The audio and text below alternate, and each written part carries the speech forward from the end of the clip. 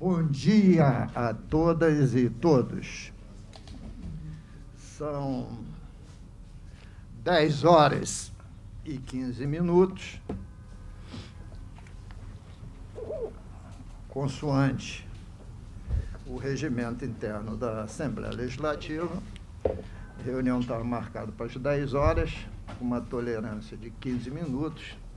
Então, vamos iniciar a nossa audiência pública.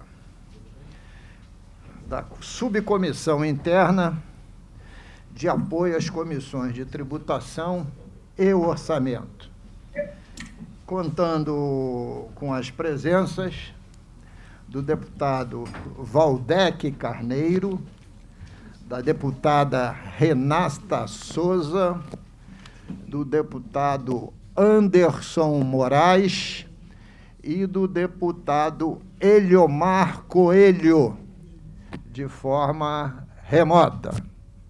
Estou vendo ele ali na tela. E contando com as presenças do secretário de Planejamento, do subsecretário de Planejamento, que é o Anderson Montese, do assessor da Casa Civil, doutor Pablo Vilarim,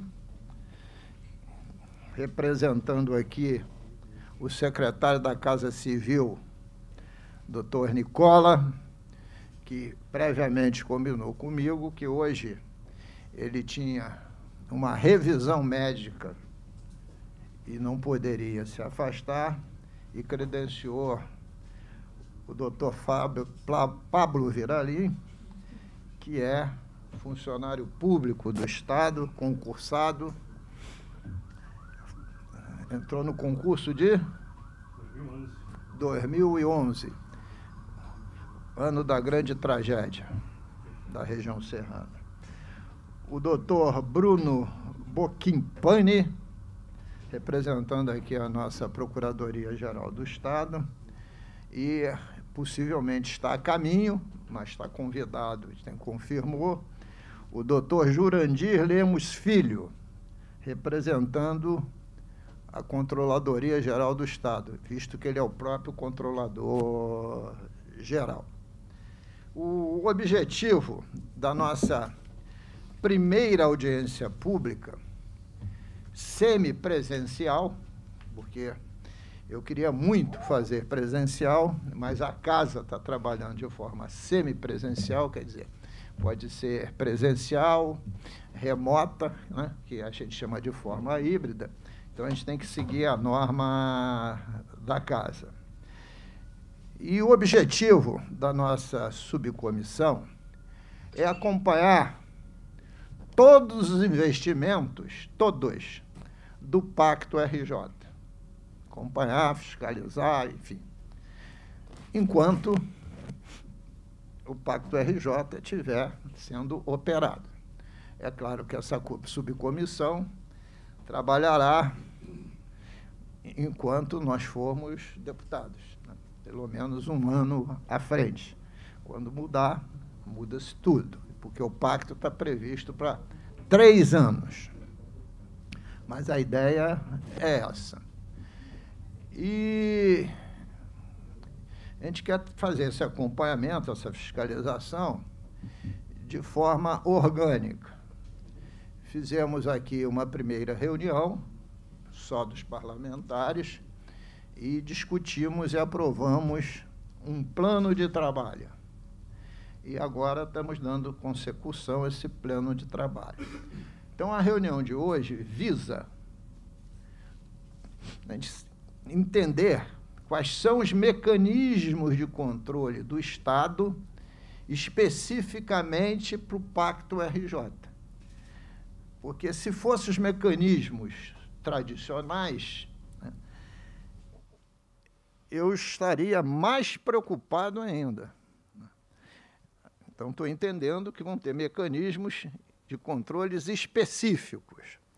porque o pacto, segundo o portal de transparência e os discursos do, do governador, monta em 17 bilhões de reais, sendo 10 bilhões de reais oriundos dos recursos da concessão da SEDA iniciativa privada e outros 7 bilhões de reais advindo do Tesouro do Estado, nas suas mais diversas fontes de recursos. Bom, então, a Casa Civil é a coordenadora do pacto. Por isso está aqui a Casa Civil, ela é a coordenadora do pacto. Então, ela tem traçada toda a concepção, desde o que é o pacto, as suas fases, etc. Então, na exposição do Dr. Pablo, eu gostaria que ele exatamente explanasse o que, é o pacto, como se darão os controles, quais serão os órgãos executores, como é que se dá os repasses para os municípios, como vão ser os controles sobre os repasses aos municípios, quais são os objetos desses repasses, etc, etc. Bom, isto é uma, é uma preleção. A nossa douta Procuradoria-Geral, como controle de legalidade, né, como é que vai ser a atuação da Procuradoria nesse sentido?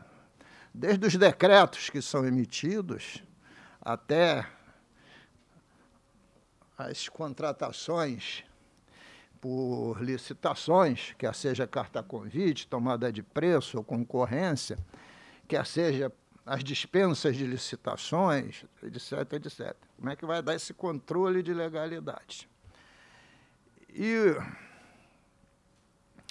doutor Zamit e doutor Montese, né, secretário e subsecretário de Planejamento, sob ponto de vista da fun uma função importantíssima da Secretaria de Planejamento, que é, nesse caso específico, de controle interno. Né? Controle interno dos empenhos, controle interno das liberações para empenho, controle interno das dotações que serão empenhadas. Né? A gente sabe que você não pode empenhar recursos de investimento para custeio, às vezes isso ocorre, né? Então, não pode fazer isso. Então tem que ter todos esses controles. Eu quero saber também como é que o planejamento vai controlar isso até porque tem uma divisão clara de 10 bilhões de recursos das concessões e 7 bilhões de, concurso, de recursos do Tesouro. E a Secretaria de Planejamento, que todas as estruturas que vão gastar, que vai examinar o, o pedido de liberação para empenho, aí tem os contingenciamentos, aquelas coisas todas que nós sabemos, inclusive também os remanejamentos, que são os dois instrumentos mais fortes que a Lei 4.320 de 64 dá aos chefes de poderes. E a controladoria, porque nós somos aqui na Assembleia um daqueles que lutamos pela criação da controladoria, historicamente sei se o deputado Valdec já estava aqui, já, nem a deputada Renata ainda não. Porque o trabalho preventivo da Contradoria seria muito importante. Né? Nós temos aqui na casa, aprovada em 2018, salvo de memória, mas eu tenho aqui, eu vou passar o número, uma lei de conformidade das contratações. Né? Essa lei da conformidade exatamente foi criada e a gente fala conformidade para não incluir anglicismos dentro da, nosso, da nossa linguagem, foi criada exatamente para evitar tudo que aconteceu na Operação Lava Jato. Né? Mas aí essa, essa, esse, essa lei de controle é para as contratações.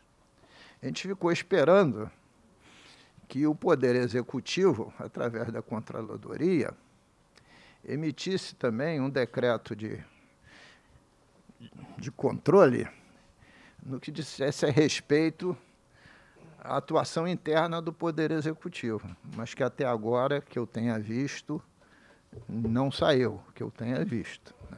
Porque a gente não precisa controlar só os contratos e a forma de contratar. Tem que também controlar os procedimentos internos para ter legalidade de ambos os lados. E eu afirmo que o que a gente está fazendo é num sentido profilático. Né? Porque a gente tem visto aqui que quando existe o descontrole, o erário é pilhado e os ordenadores de despesa, que são em parte os senhores, depois vão responder por tudo. Não quero nem voltar lá na Operação Lava Jato. Quero voltar ao ano de 19, né, na questão das contratações na área da, da saúde, né, que fez com que nós tivéssemos o primeiro governador caçado do Brasil, viu, deputado Anderson? E por acaso, eu e a deputada Lucinha fomos autores do pedido de impeachment. Falei com o deputado Anderson, porque ele é um estudioso do assunto também. Ou não é? Bom, dito isso, eu queria primeiro ouvir, antes de perguntar aos deputados se querem fazer uso da palavra, mas primeiro quero ouvir o doutor Mauro. Posso seguir? Posso seguir? Então, por favor, doutor Mauro. Pois não. É, antes da palavra do, do, do Pablo, o senhor me permite falar. É só pedir desculpa. Que, é, dá, um desconto pela idade. Que Mauro, pô, é Pablo, desculpa. Foi senhor, boa correção. O Mauro. senhor me permite falar em nome do governo, já que eu sou o secretário aqui, eu queria fazer uma introdução. Perfeitamente. O senhor permite? Primeiro porque no status governamental, o senhor é secretário, tem mais estrela. E segundo, que o senhor é contra-almirante, é outro predicado. É, eu sou, sou um humilde, humilde servo do, do Estado. Deputado, eu queria, antes de falar na frente dos meus colegas companheiros do Estado, eu queria estabelecer algumas premissas aqui para que a gente possa é, apresentar as condições do Estado e alinhar o entendimento de todos em relação aos investimentos que hoje estão sendo feitos.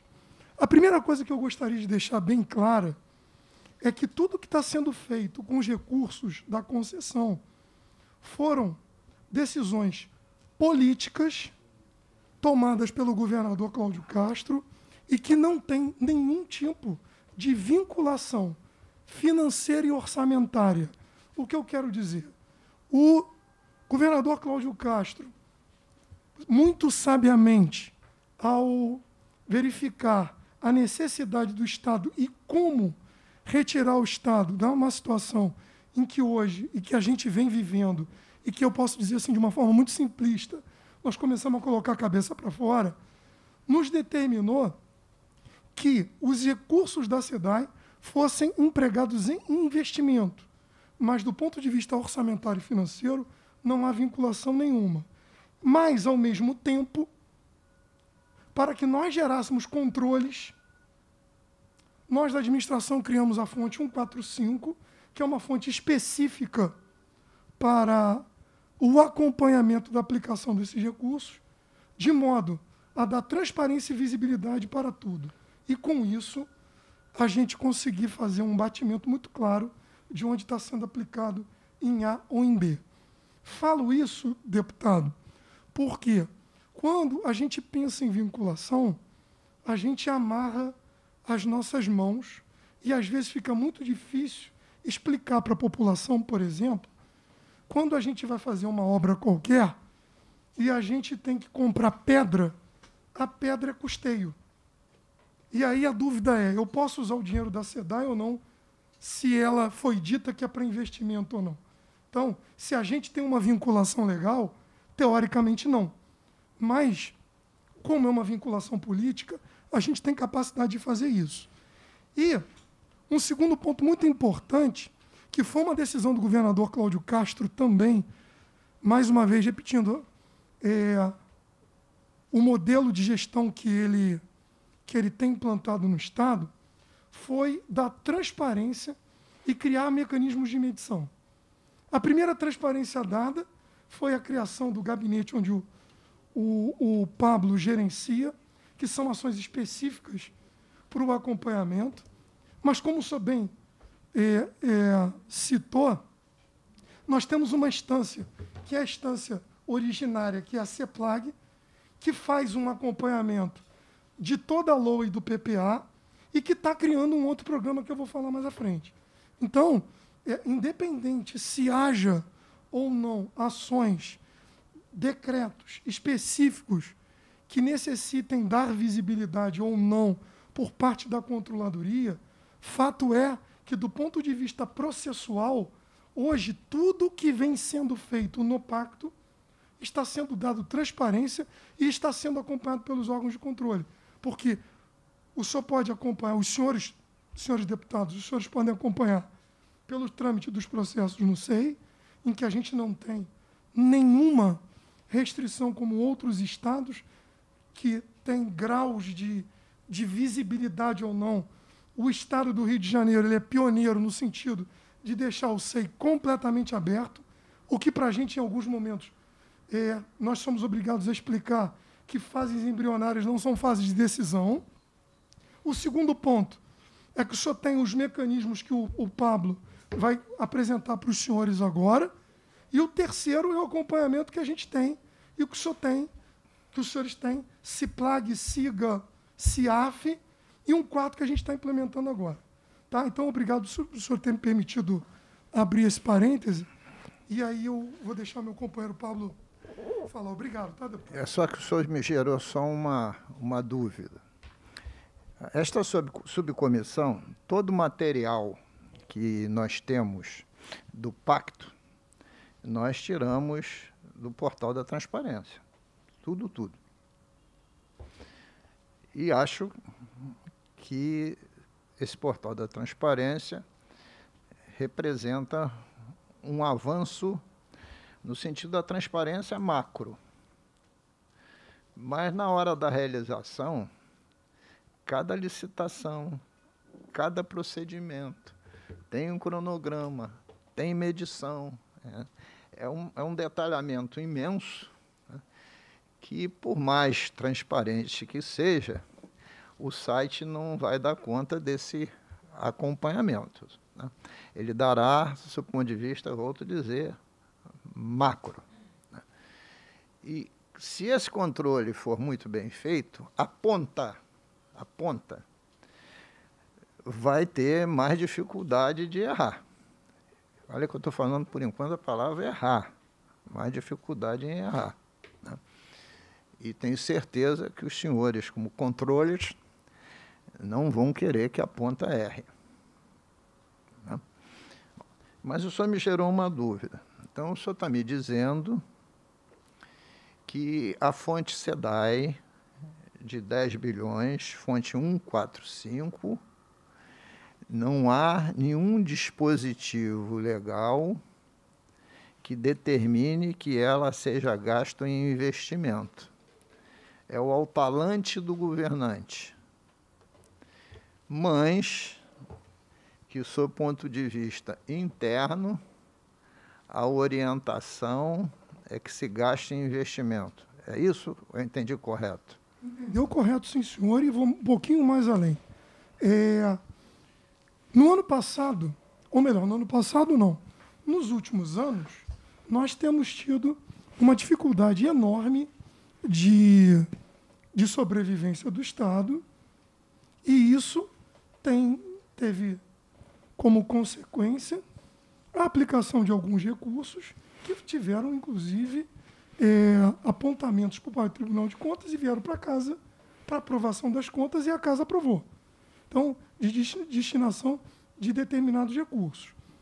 Com o passar do tempo, e principalmente o ano de 2021, em que a arrecadação melhorou e que nós conseguimos fazer o que deveria ser feito, que era pagar as nossas contas todas de acordo com as fontes específicas, nós podemos dar clareza e destinação por ordem do governador Cláudio Castro para a aplicação da fonte 145 para os recursos específicos de investimento e que nesse ano de 2022 estão destinados 100% na LOA aprovada pelos senhores para investimento. Agora, do ponto de vista de lei, não há nenhuma lei que determine isso. Deixa eu só fazer. Eh, essa, essa questão é fundamental. Por quê? Pega uma obra X, não quero nominar nenhuma, obra X. Na política que o Estado tem, de terceirizar tudo e não fazer concurso para engenheiro, arquiteto, agrônomo, política do Estado, que a gente pretende que seja corrigida, vocês vão terceirizar esse gerenciamento. Certo? Em tese, gerenciamento é despesa de custeio, porque é pessoal, né? pessoal terceirizado. Aí os senhores podem gastar da fonte 145 não há nenhum óbice legal. É, uma, é a critério da dotação estar na LOA ou ser fruto de alguma alteração orçamentária.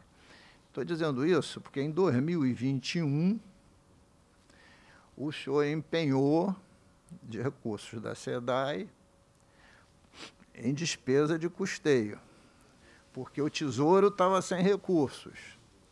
Aí, quando os recursos do Tesouro entraram, o senhor cancelou esse empenho, colocou o empenho da fonte Tesouro e retornou para esse dinheiro. Esse, empenho, esse dinheiro não, esse empenho para a fonte é, investimento. Então, o senhor mesmo voltou atrás e, e, a gente conversou sobre isso. Exatamente. Então, exatamente, eu estou querendo que isso fique bastante claro. E só para fechar, está tá respondido, está entendido, é que a casa aprovou as contas de gestão. Mas os três deputados que estão aqui votaram pela rejeição. E por quê? Não por causa do tema que o senhor colocou. Porque os investimentos de habitação, interesse, de habitação de interesse social tinha que ser 5% e o Estado investiu 1,99%. Né? O, FEIS é 5% do Fundo Estadual de Combate à Pobreza. E este ano, está aí a catástrofe, tem 303 milhões de reais na LOA para o FEIS, que é 5% de 6 bi, que é a previsão do Fundo Estadual de Combate à Pobreza. Ali eu queria aproveitar um ensejo que eu verifiquei anteontem, um problema grande que se tem pela frente. Não sei se a adulta Procuradoria está acompanhando. Mas o Procurador-Geral da República, o senhor Aras, deu entrada no Supremo com uma ação de inconstitucionalidade para cortar as sobrealíquotas que a gente aprovou do Fundo Estadual de Combate à Pobreza sobre energia e telecomunicações. Não sei se vocês estão acompanhando, é bom acompanhar porque isso pode ser um impacto enorme no nosso, na nossa previsão para orçamento desse ano. A Procuradoria tem conhecimento, doutor? Tem, ok. Mas foi agora isso, viu? Okay. Por favor, doutor Pablo. Obrigado, doutor Zamid. Alô. Bom, bom dia a todos. Sou Pablo Vilarim. Como bem falou o senhor deputado, eu sou concursado, sou gestor público da carreira da CEPLAG, na gestão da CEPLAG. Fui ex-secretário de Fazenda de Niterói, ex-assessor econômico da, da Fazenda do Paraná. Fui secretário executivo da Educação na gestão do deputado Conte Bittencourt e hoje sou assessor-chefe do grupo de trabalho de investimentos criado na Casa Civil para fazer essa coordenação das informações a serem prestadas para o site da transparência Pacto RJ. Tá? Então, qual é o papel aí da, da Casa Civil? Né? Esse pacto começou lá atrás, começou com uma rede de, de, de, de gestores formados, inclusive pela CEPLAG. Então, a Casa Civil assumiu essa coordenação. Então, nas secretarias executoras e secretarias, órgãos e entidades do Estado, que têm, têm seus planos de investimento, a gente criou essa rede e eles prestam a informação para a Casa Civil para fins de. E aí faz o nosso tratamento, é uma padronização, faz uma certa padronização dessas informações prestadas pelas secretarias executoras, secretarias finalísticas, para fins de publicizar isso no site da transparência, que é o nosso site do Pacto RJ. Tá? Então, é, a secretaria, o trabalho dessa coordenação, né, desse GT criado na Casa Civil, é justamente fazer essa padronização das informações enviadas pelas secretarias e publicizar isso no site. Então, como é que está sendo... O que, que temos no site? Né? Ele tem um ciclo de desenvolvimento do projeto, se for ver, ele tem um cronograma estimativo, metas, valores que são definidos pelas secretarias executoras, pelas secretarias finalísticas. É, e a gente reproduz isso de uma forma que seja amigável né, ao, ao, ao leigo no site da transparência. Então, tem, uma, tem divisões nos seus cronogramas, cada, cada projeto tem seu cronograma, então tem a fase, a gente chamou para padronizar junto com a controladoria, a fase licitatória interna, é, após o lançamento do edital de contratação, ele passa por uma fase licitatória externa, né, que aí é a fase de contratação ao público, quando testa aí o mercado. E aí, após a, a, homologação do contrato e a ordem de serviço, ele vira em uma fase de um status de execução do projeto. Tá? E aí a gente faz a evolução, é, é, que mostra o site, é uma evolução física que nada mais é do que é, o que está liquidado em cima do contrato, ele é uma boa proxy, porque hoje o Estado está com prazo de, de, de, médio de pagamento baixo, então é uma boa proxy. Então, é, a evolução física do projeto com a sua execução de acordo com a liquidação dos seus contratos. Tá? Então, fica claro aí que o papel da, a, da Secretaria da Casa Civil de coordenação é padronizar, receber, ter esse recebimento das informações das secretarias executoras, de metas, valores, é, é, é, retorno, descrição do, do objeto, e fazer essa publicização no site da transparência, no site do Pacto RJ. Tá? Então, o pacto, na verdade, ali pela Casa Civil surge para dar publicidade e transparência das obras públicas é, constantes do Pacto RJ. Né? É, os, é, o site também, a gente está tá em constante evolução, o site tem apenas 4, 5 meses né, que está no ar. Então, a gente está colocando também as informações dos projetos geolocalizados. Tá? Então, por exemplo, o DR, que é um, está com, tá com uma execução, ele tem uma composição ali dos investimentos do Pacto Alto, então a gente está colocando todos os projetos geolocalizados no estado do Rio de Janeiro. Aconteceu qualquer um clica no projeto específico, ele tem um, ele abre ali um, uma aonde que está sendo a área da, da obra especificamente geolocalizada. É, isso em quase nos quase todos os projetos que a gente tem essas informações geolocalizadas. Então ele tem informações de valores dos contratos. A, quando tem uma aba de transparência, quando o projeto ele vira em execução, a gente cria um link do contrato e aí a pessoa clica, vai direto na execução orçamentária e financeira do projeto, tá? ele vai para o site da transparência, então é, tem a execução do contrato aliado ao projeto, tem o empenho, liquidação, o pagamento desses projetos. Lógico, como é, é um projeto grande de bilhões de reais, nem todos são através de contratos. Né? Então, tem, tem repasses fundo a fundo, como o Restaurante do Povo, por exemplo, que é um repasse fundo a fundo. Aí a gente está em evolução junto com a, está em contato junto com a Proderj para a gente subir com outros documentos que demonstrem o repasse financeiro, né, como uma OB, por exemplo, tá? Então, é, ele, a gente também está em processo com as fotos de execução, são as fotos de execução, os projetos que estão em execução terão é, fotos atreladas a seus projetos no, no, no site. Então, é, essa é a composição, a coordenação da Secretaria da Casa Civil de é, recebimento dos, dos, pontos focais criados pelas secretarias da, finalísticas e executoras, o recebimento dessas informações, uma padronização para a gente ter, é, é, é, a, ser um site de transparência amigável, né, de, de entendimento ao público em geral, e mostrando a execução, seja orçamentária, financeira, é, e seja e aí incluído aqui é bom destacar o nome da empresa está tudo ali no site da transparência tem o nome da empresa a, ganha, a empresa ganhadora é, quando foi é, o, o, contrato assinado qual é a sua vigência se está em vigor se está em suspenso enfim. É, isso que compõe na verdade o site da transparência do Pacto RJ tá certo? É, lógico, assim, as informações específicas dos projetos, é, é, né, do seu retorno, sua meta, os cronogramas definidos ali, são todos a cargo das secretarias finalísticas. Okay? Queria fazer, levantar as seguintes questões. Pela sua síntese,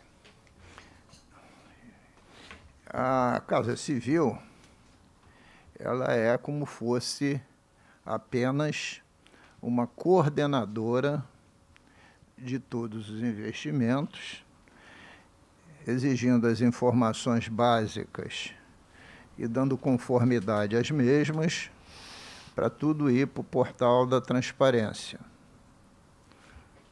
Ela não tem nenhuma função de controle efetivo dos gastos, né? porque ela não está examinando legalidade, faturamento, etc, etc. As fotos de rodovias podem ser todas tomadas por drone, etc, etc. Mas é um passo importante para dar transparência, mas não sob o ponto de vista do controle especificamente. Aí eu pergunto ao senhor, nessas conformidades, Imagina, o senhor citou uma instituição que por acaso eu conheço muito bem, que é o DR. Trabalhei lá há décadas. É, o senhor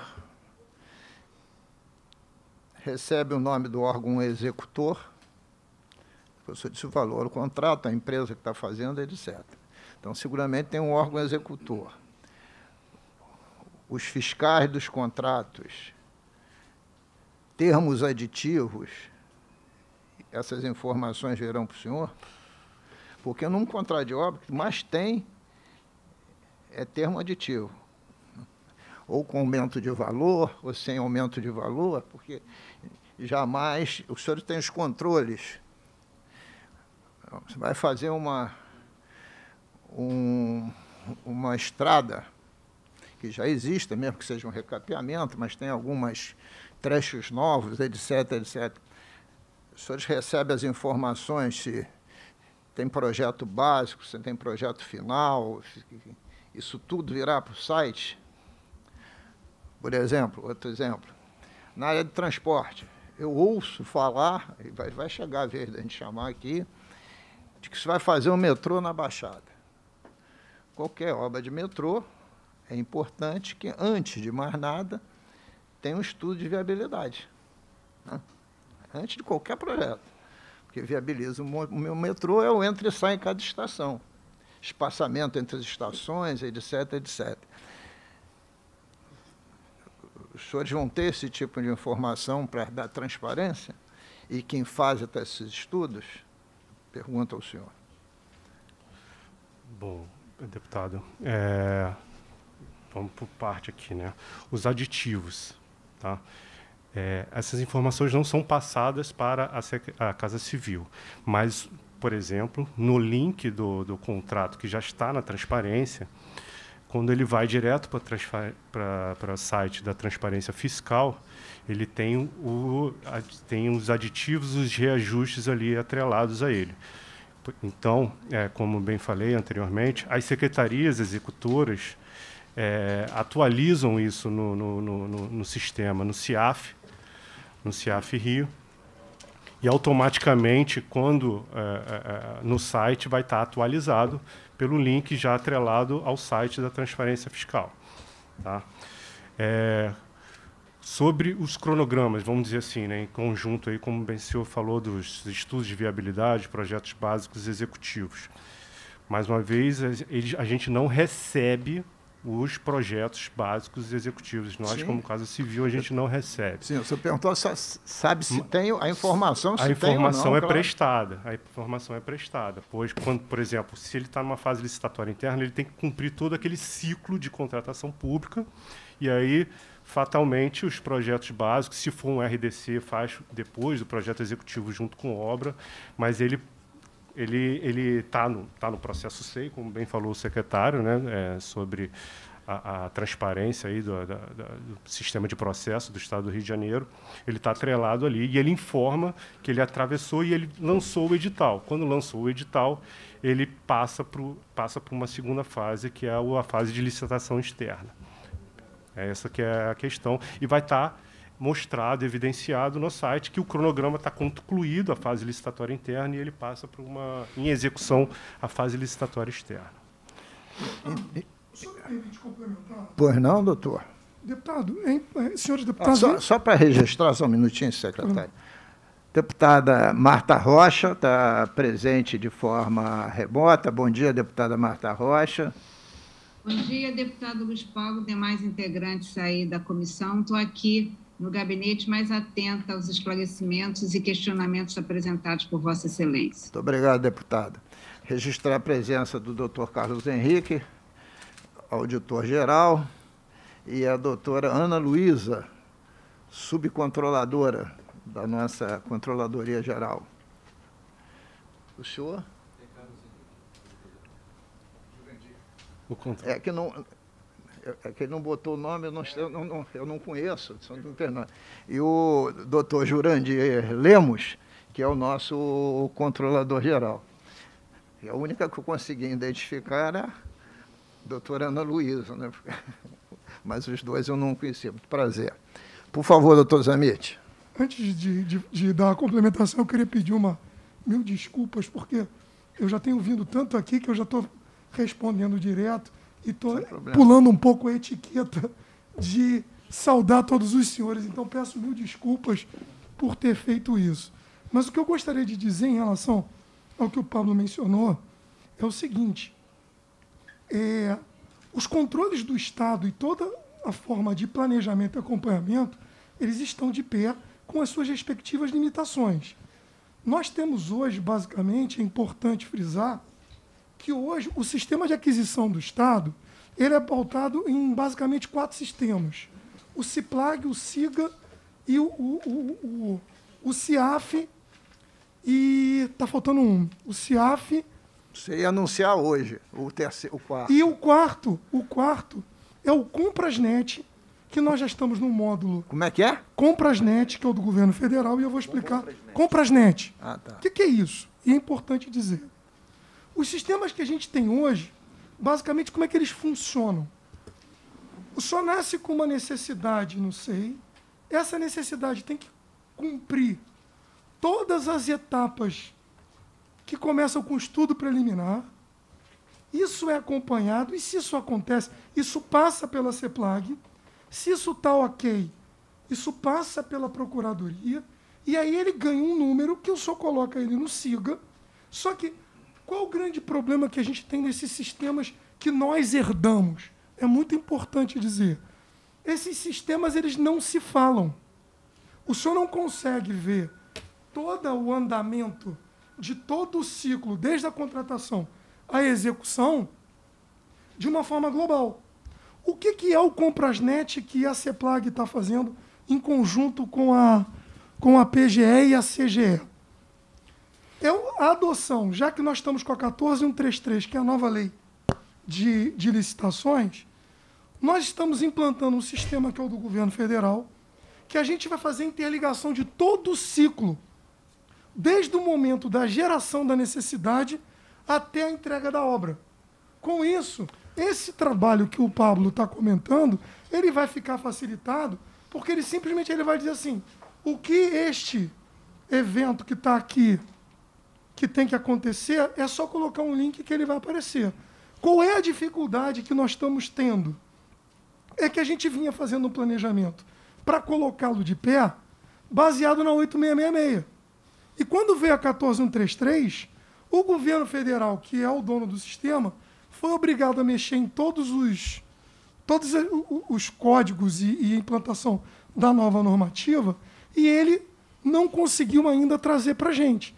E nós, lá, nós, PGE e CGE, nós estamos no momento agora de estabelecer toda a normativa da 14133 e vamos fazer um projeto piloto que, vão, que vai pegar secretarias pequenas para ver se isso funciona. A ideia é em 22 ainda a gente colocar a minha secretaria, que é uma secretaria com orçamento pequeno, para rodar o sistema em todo o ciclo. E aí, 23, 24, a gente bota as grandes. Saúde, educação e, e polícia militar, que são secretarias muito grandes. Então, eu estou complementando isso, senhor deputado, porque, além de tudo, nós temos que tomar um certo cuidado, que é que nós, eu, Nicola, nós não somos os ordenadores de despesa dessas específicas despesas. Nós somos, ele é o PMO do projeto. Então, basicamente, ele é o PMO e o, o vamos dizer assim, a batuta do governador. Então ele olha, verifica, está no prazo, não está no prazo, fala em nome do governador. Se a gente avançar um pouquinho mais, a gente se torna ordenador daquilo ali. Então isso é muito preocupante para nós também, porque a gente não pode tirar a autoridade do respectivo secretário. Obrigado. Não pode tirar autoridade também, não pode dar aval junto, que depois responde também jurídica, administrativa e até mesmo criminalmente. Né? Ordenou despesa. Né? Bom, deputado Renato, posso caminhar? A senhora quer fazer alguma pergunta? Só gostaria, senhor presidente, bom dia a todos e a todas. É muito importante essa audiência de hoje, e aí cumprimentando a mesa em nome do nosso presidente Luiz Paulo e os demais membros, Valdec Carneiro, deputada Marta Rocha, deputada Neomar Coelho, deputado Anderson Moraes. Acho que aqui temos um desafio enorme, que é apresentar de maneira mais robusta aquilo que o site da transparência não nos traz. E é claro, sabemos da, da tentativa do governo em dar acesso às pessoas ao que está colocado no Pacto RJ, mas é evidente que o site não dá conta de todos os questionamentos e perguntas que essa subcomissão, inclusive, vai se pautar. Então, nesse sentido, é fundamental que possamos, até para que a população compreenda o que, que está em jogo, né? É importante, a gente acabou de ouvir aqui que o que se deu com os recursos da SEDAI foi justamente a possibilidade de mais mobilidade na utilização desses recursos. E, claro, mais mobilidade, esperamos aqui que, com essa subcomissão, que mais mobilidade na utilização desses recursos não represente menos transparências e, e acompanhamento.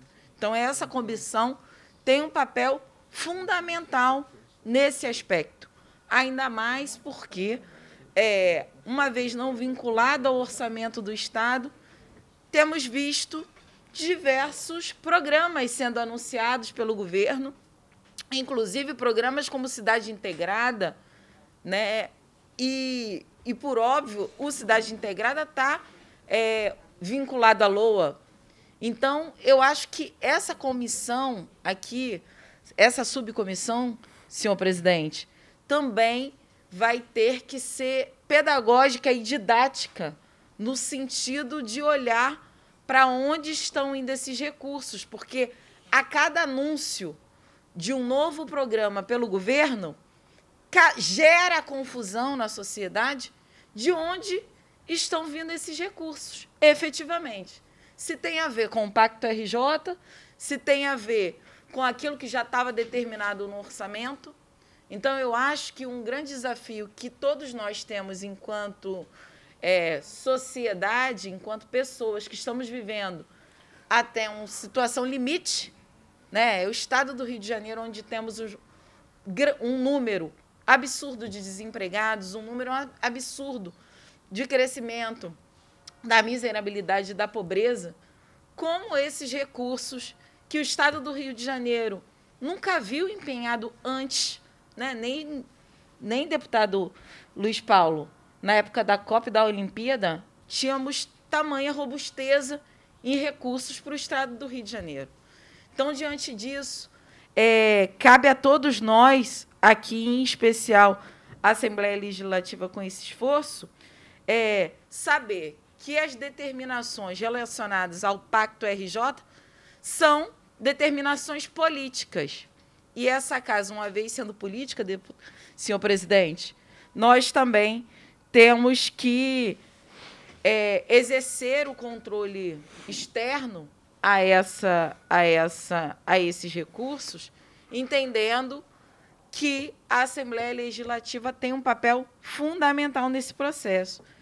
E aí, é, acho que ouvirmos todos aqui é fundamental e sabermos também como a Controladoria Geral do Estado vai poder e vai ter condições de olhar para esses recursos onde as determinações são políticas. Então, eu estou trazendo esses elementos só para a gente pensar, deputado Luiz Paulo, porque, como o senhor bem notou aqui, é, a maioria dos deputados que fazem parte desta comissão votou contra o orçamento do governo. O orçamento, não. Orçamento, desculpa. Votou contra as contas do governo, que já tinha uma determinação, inclusive, do Tribunal Estadual de Contas para, é, para a sua rejeição. Então, é importante observar que essa comissão aqui tem uma responsabilidade enorme diante disso e que a gente espera aí compromisso do governo com os debates aqui colocados. Acho que é, era essa observação que eu gostaria de fazer. Muito obrigada, senhor presidente. Obrigado, deputada Renata. Continua, não? Então, pela ordem aqui de, de chamamento, será o nosso secretário de Planejamento, doutor Zamit, depois a Controladoria. Eu, eu agradeço mais uma vez. Agora eu vou falar especificamente da, da CEPLAG. E, de uma forma bastante resumida, eu gostaria de contar um pouquinho a história do pacto, principalmente do ponto de vista orçamentário. O pacto nasceu em março com a, com a ideia, ou melhor, com a visualização da, dos recursos que viriam da concessão de saneamento, e com isso com a necessidade do Rio de sair do estágio em que ele estava, foi determinado pelo governador Cláudio Castro que nós fizéssemos um grande plano de investimento e para que, com isso, nós começássemos, no final das contas, a sair de um ciclo vicioso para um ciclo virtuoso, que era a geração de emprego e renda. Importante frisar que, naquele momento, em 2021, nós estávamos com uma LOA apresentando um déficit de menos 23 bi, repito, um déficit de menos 23 bi, em que, basicamente, nós tínhamos para investimento na LOA 700 milhões de reais apenas, e que mesmo assim eles estavam contingenciados, porque o grande desafio que nós teríamos era pagar as contas, primeiro, pagar as despesas de pessoal, e no segundo lugar, a gente conseguiu honrar com os nossos compromissos. Ao longo do ano, nós conseguimos realizar aquilo que a gente esperava e, usando a determinação do governador, nós começamos a aplicar os recursos da SEDAI nos investimentos que estavam previstos. Gostaria de enfatizar algo que o senhor havia falado, deputado Luiz Paulo, que as, os cancelamentos e, e substituições que nós fizemos na LOA exatamente para a fonte 145 foi uma manobra que nós, na CEPLAG, por determinação do governador Cláudio Castro, foi da gente conseguir manter o Estado andando o tempo todo, o Estado andando o tempo todo e não parar por falta de recursos. Se os senhores observarem de uma maneira geral, mesmo com os menos 23, nós conseguimos fazer uma execução muito boa. Por quê? implantamos um método de trabalho que foi basicamente, ao invés de a gente entregar orçamento 100% para uma determinada secretaria ou projeto, nós trabalhamos numa metodologia do PMO, que era alocar recursos específicos para aquele mês, para aquela, para aquela liquidação existente naquele mês. Então a gente dava orçamento para a secretaria licitar, depois a gente tirava o orçamento e só colocava aquilo que ele tinha capacidade de empenhar. Com isso, a gente evitou que houvesse orçamento empossado, digamos assim. E aí fluiu. Conseguimos fazer o pacto andar e gostaria aí aproveitar um gancho na, na, nas palavras da senhora, deputada, é que as decisões políticas que foram tomadas pelo Executivo no ano de 2021 se tornaram ratificadas no ano para 22, no ano de 21, no momento em que a LOA é aprovada. Por quê? Porque nós nos preocupamos em pegar todo aquele pacto que havia sido planejado e que se iniciava, colocamos nas, nas, nas revisão, na revisão do PPA e colocamos todos os programas na LOA. Todos os programas do todos os projetos do pacto estão na LOA. O que pode ter acontecido ou há de diferença é a incorporação no nome pacto de projetos que também estão aprovados dentro da LOA. É isso que a gente tem feito. Então, se os senhores observarem hoje, como eu falei de 2021, para 2022, nós temos é, 6 bi de projetos do pacto, 6 bi de projetos do pacto, sendo 4,74 de despesas de capital e 1,35 de despesas correntes. Faço também uma outra observação que é muito importante, que quando a gente fala do montante total de 17 bi, os 17 bi não são 17 bi para o executivo. Isso é muito importante dizer. Está difícil aqui com óculos, que o óculos embaça, aí eu não vejo ninguém. aí eu também não consigo ler o número. Mas vamos lá. Dos 17 bi, o que sobrou para o estado do Rio foram, sobrou, né? O que foi destinado ao estado do Rio, depois de todas as deduções, foi o valor de 9,6. No ano passado, nós liberamos de LME 3,5 e estamos numa fase de apuração de superávit na ordem de 7,4, o que significa que nós vamos ter para esse ano 7,4 bi de, de fonte 145 para atender esses 6 bi. Aí pode vir uma pergunta: ok, o que a gente faz com essa diferença? Não é verdade? É esse estudo que nós temos feito hoje em dia, porque não é só isso que a gente tem que olhar. A gente tem que acompanhar também o aumento da arrecadação, o aumento dos, da, dos repasses e por aí vai, e gerar novos projetos. Ah, pois não? Pois não, deputado? Agora há pouco o senhor falou de que não são propriamente 17 bi, porque tem as deduções, enfim, isso, isso. e com isso caiu para 9,6, cerca de 10 bi. Essas deduções, em linhas gerais, quais são elas? Você passa aos municípios. Município, municípios, principalmente. A SEDAI, o, o dinheiro para a SEDAI e os municípios. Okay. E o pagamento do BNDES. É, Secretário? Por não? O senhor tem razão quando o senhor fala na lua de 2022. Porque na justificativa da lua, os senhores claramente falam do Pacto RJ, além de estar né, as dotações distribuídas. Mas o que norteou os investimentos da Lua foi o Pacto RJ.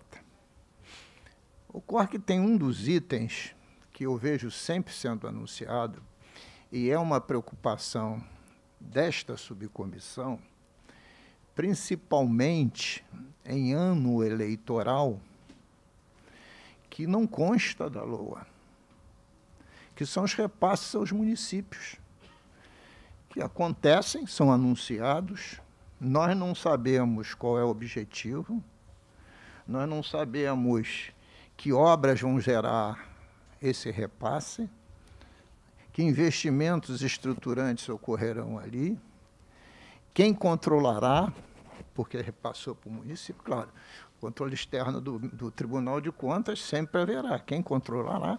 A gente não sabe absolutamente nada. E não está na LOA. A LOA não diz assim, fonte de programa, fonte tal, programa de trabalho tal, repasse ao município X, tanto, para fazer o quê? A LOA não tem isso. Senhor, Nem no PPA. O senhor tem, o senhor tem nenhuma desse, nenhum desses repasses não são feitos, ou melhor, não deixam de ser feitos de acordo com o que a LOA permite. O que, que eu quero dizer? Existem ações orçamentárias específicas que podem ser feitas e isso é, dá legalidade para o ato. Uma coisa é o que nós estamos fazendo. Olha só, eu não, pacto... me perdoe, eu não estou discutindo legalidade. Né? O Estado tem legalidade mediante convênio com objeto específico, fazer transferência de recursos. Eu estou dizendo é que essas transferências específicas e não gerais não existem na LOA. Até porque o senhor não é adivinho, não poderia ser.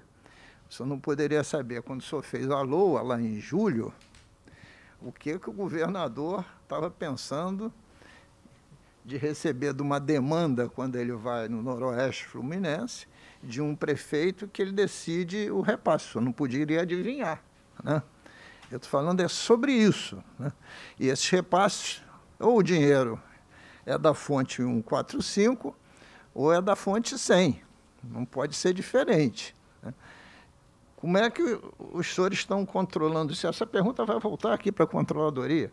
Se esse dinheiro está com aquela finalidade porque é, acho eu que qualquer recurso que a gente repassa, e a Procuradoria está aqui, será mediante uma contraprestação de contas.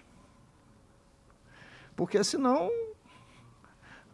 você não está passando recursos com um objeto específico, você está dando dinheiro para um outro tesouro. E isso também, entendeu? É essa Entendi. questão. Entendi. Ou não? Descontadas, os, descontados os repasses aos municípios e o pagamento ao BNDES, que fez a modelagem da concessão, é, é, é, é, quais foram os investimentos já iniciados pelo governo do Estado em 2021 é, com esses recursos? Os principais, pelo menos em Minas Gerais, porque tem que aparecer algum momento isso aqui, né? Tá. Eu, vou, eu vou fatiar aqui. É, em relação aos repasses que o senhor falou, vários projetos do pacto e há determinadas descentralizações que são feitas para o atendimento. Por exemplo, o DER é um órgão que o senhor conhece, ele vai e vai fazer uma determinada, a, in, determinada iniciativa em que ele combina com o município que ou ele vai fazer ou o município vai fazer.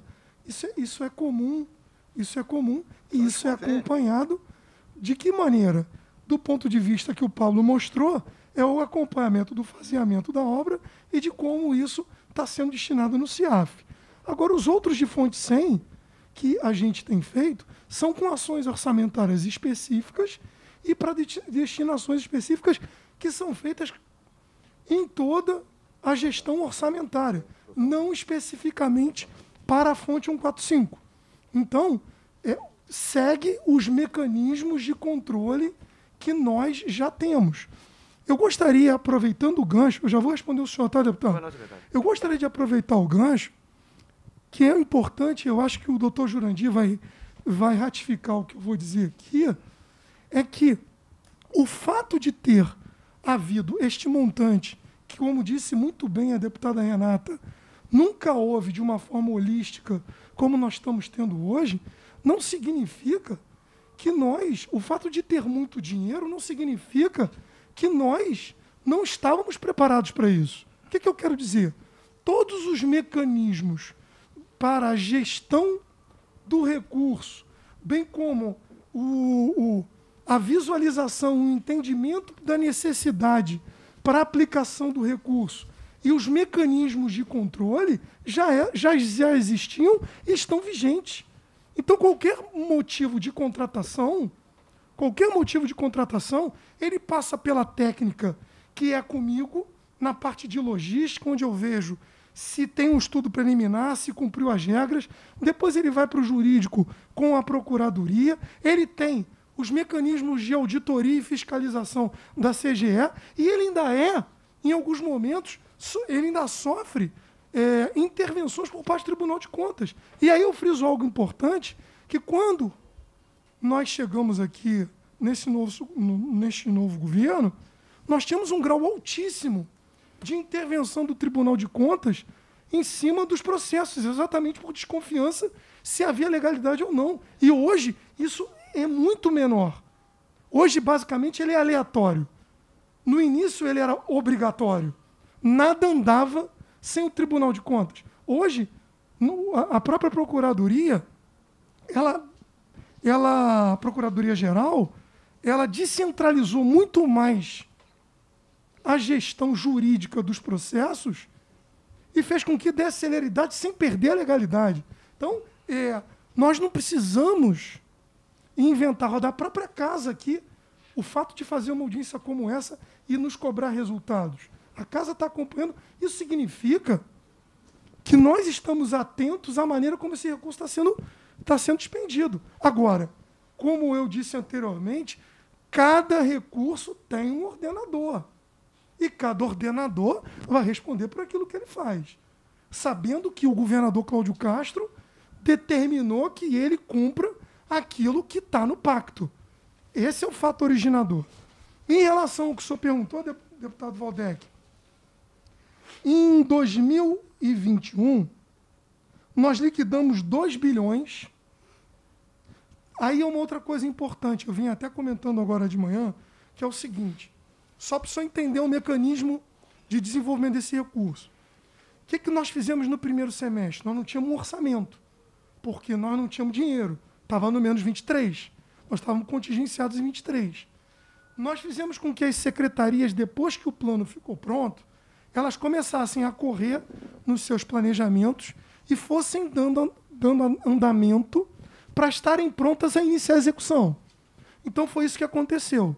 Quando a gente recebe o recurso da SEDAI, a gente pega aquela carteira de projetos do pacto e joga o orçamento ali, que são esses 3 bi e 500 que nós colocamos no ano passado.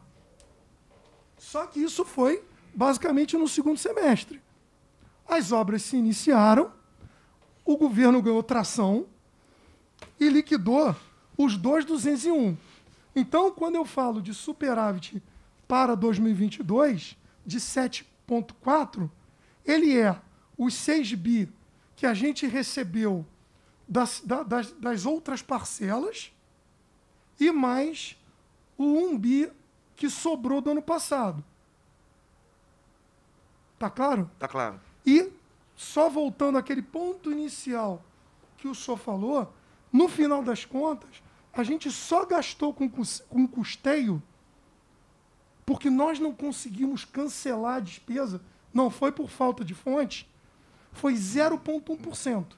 E aí qual foi a justificativa que nós criamos politicamente? Nós pegamos uma despesa de fonte 100 e fizemos uma aplicação dela em investimento para dizer o seguinte: mesmo que eu apliquei 0,1 em custeio, eu estou aplicando uma que seria de custeio para dizer o seguinte: eu estou no 0 a 0. Cadê? Eram 9,6 2021 3.5, porém liquidados 2.200. Peraí, deputado, Fez... me perdi. Com isso. É, isso mesmo. É isso? Eram, do... eram 9.6. Era 9.6. Em 2021 3.5, porém liquidados 2.201. Isso, aí sobrou um Sobrou 1.3, mais, os, se... mais o, o, os, os 6.1 está dando 7.4. 7.4. De superávit para esse ano. Sim. Perfeito. Ok? Ok. A pergunta do deputado Valdec? Pois não. É, bom, com essa previsão, é, e o deputado Valdec também perguntou quais foram os, os programas né, pautados para esse ano que eu acho que é importante é, ter essa resposta. E com relação às, às, às situações que temos no ano eleitoral, de uma agenda eleitoral também,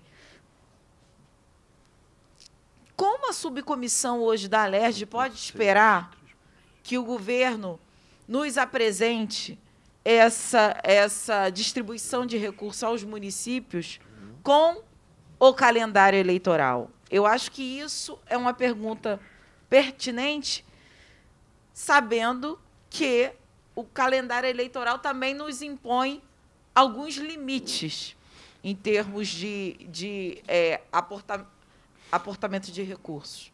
Enfim, gostaria que o senhor pudesse nos dizer algo sobre isso. Obrigado, deputada. Só um minutinho. Eu queria só fazer aqui um, um adendo. É, sob o ponto de vista do controle da legalidade, que é a parte final da sua pergunta, nós vamos distribuir essas, essa pergunta tanto para a controladoria quanto para a Procuradoria, que são as instituições. Porque, não sei se a senhora observou ontem no plenário, quando a gente aprovou o repasse de 30 milhões de reais para a tragédia de Petrópolis, e possivelmente hoje estará na pauta repasse para os, em tese, oito municípios Noroeste. do nosso noroeste fluminense, eu, na hora de votar, eu solicitei que fizesse uma consulta à Procuradoria da Casa, porque tinha ouvido o presidente do Senado ao aprovar, dar andamento aquela tratativa, no meu entendimento, deletéria de a gente perder os recursos sobre os combustíveis do ICMS, uhum. né, se isso poderia fazer em período eleitoral. Porque o Supremo tinha sido instado sobre a matéria. E ele dizia, disse o seguinte, eu vou tocar aqui. E depois, o, em linguagem popular, os doutos vão dizer se infringe ou não a legislação eleitoral. E ontem mesmo eu dizia, eu não sou jurista, eu sou engenheiro. Eu entendo que a legislação eleitoral ela tem dois momentos. Um, 2 de abril, seis meses antes das eleições. É a lei dos partidos políticos. Né? Abriu-se uma exceção, o Supremo, primeiro ano de federação. Mas se lembrar lá, o ministro Barroso disse que a federação tinha que dar entrada lá em até 2 de abril, que são os seis meses antes da eleição. Entendo que o executivo, o parlamento, enfim, todos estão sob a mesma égide. Né?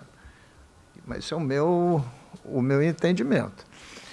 Então, eu verifico, eu, que convênios de repasses poderão ter problemas eleitorais, com a legislação eleitoral se forem feitos depois do dia 2 de abril.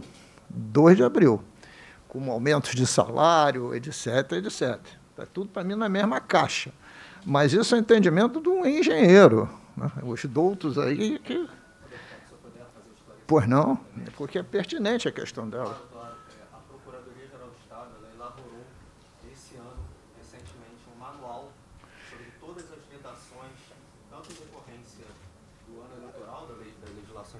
Como da Lei de Responsabilidade Fiscal como último ano de mandato. Esse é, manual é, é, é, um, é um material bastante simples, assim, fácil de, de ser compreendido, até mesmo por leigos. Ele foi produzido e já foi circulado por todo o sistema jurídico do Estado. Eu gostaria que o senhor encaminhasse para a comissão, seria de grande utilidade, por favor. Boa iniciativa. Mas qual é a data, o senhor sabe? A eleitoral, o senhor falou bem, a da lei de responsabilidade fiscal, acho que tem um pequeno gap de diferença, eu não me lembro agora exatamente hum. qual é, mas é, acho que é um período acho que quatro meses, acho que um é seis meses, o outro é quatro meses, só Tá. Ok.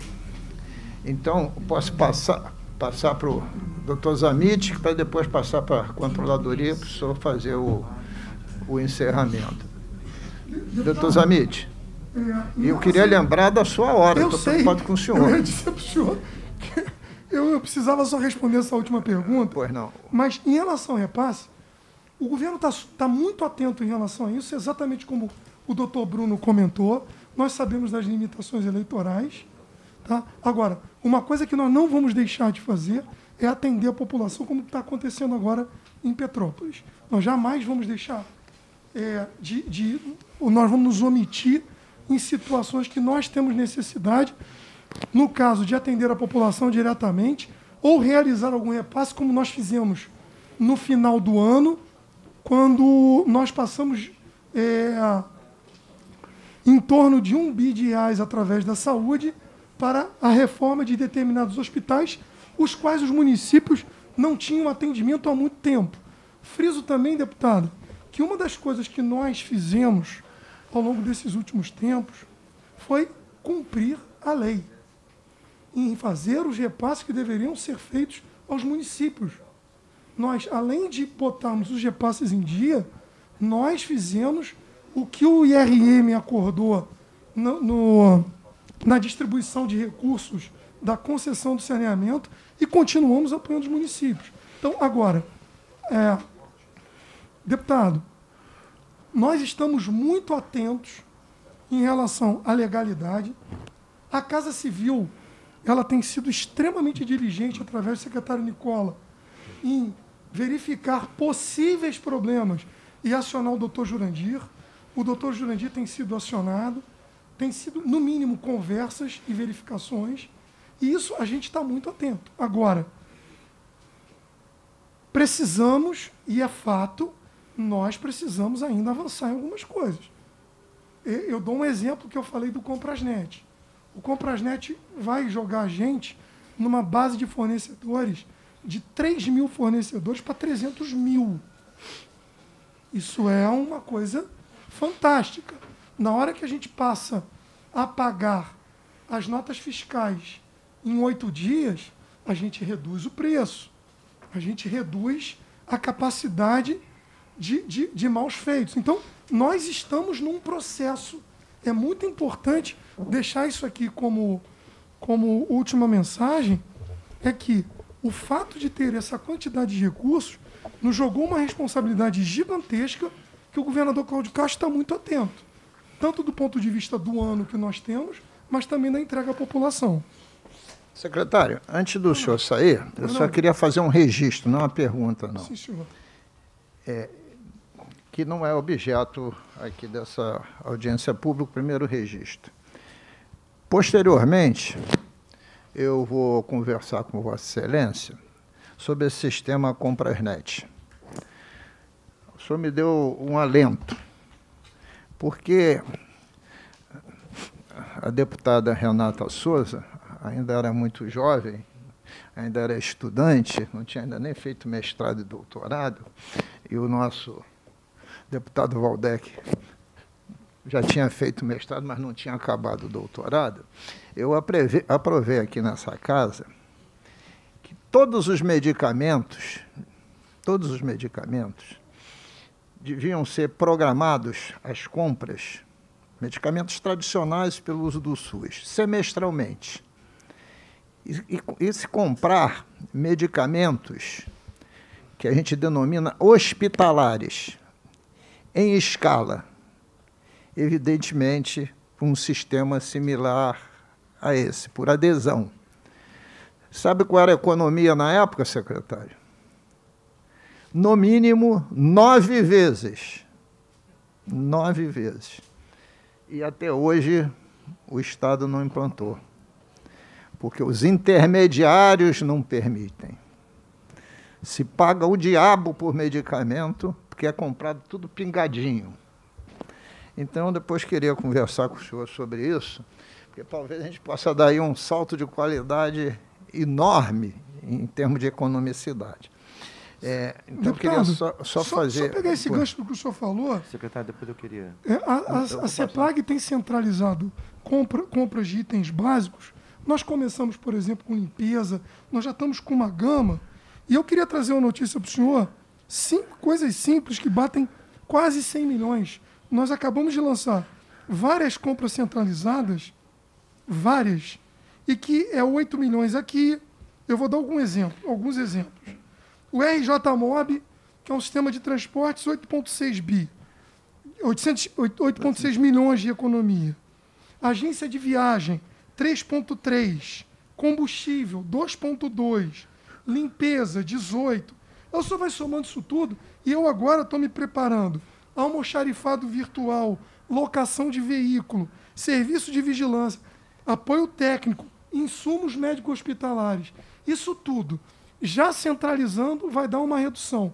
Quando eu jogar no Comprasnet e ter esses 300 milhões, isso vai aumentar muito. Agora, imagine, Vossa Excelência, a compra de medicamento hospitalar, com adesão dos 92 municípios, porque eles podem comprar, né? o senhor faz a licitação, a economia que isso é, é na casa dos bilhões. Imagine se tivesse essa compra centralizada pela União, com os 27 estados e 5 mil municípios. O que se joga de dinheiro fora aí, o, o SUS, os, os medicamentos mais usuais, o SUS tem todos eles, porque está tudo cadastrado. As duas compras por ano. E a dispensação, não precisa ficar estragando os medicamentos no depósito, não, faz uma dispensação de entrega. Né? Definida.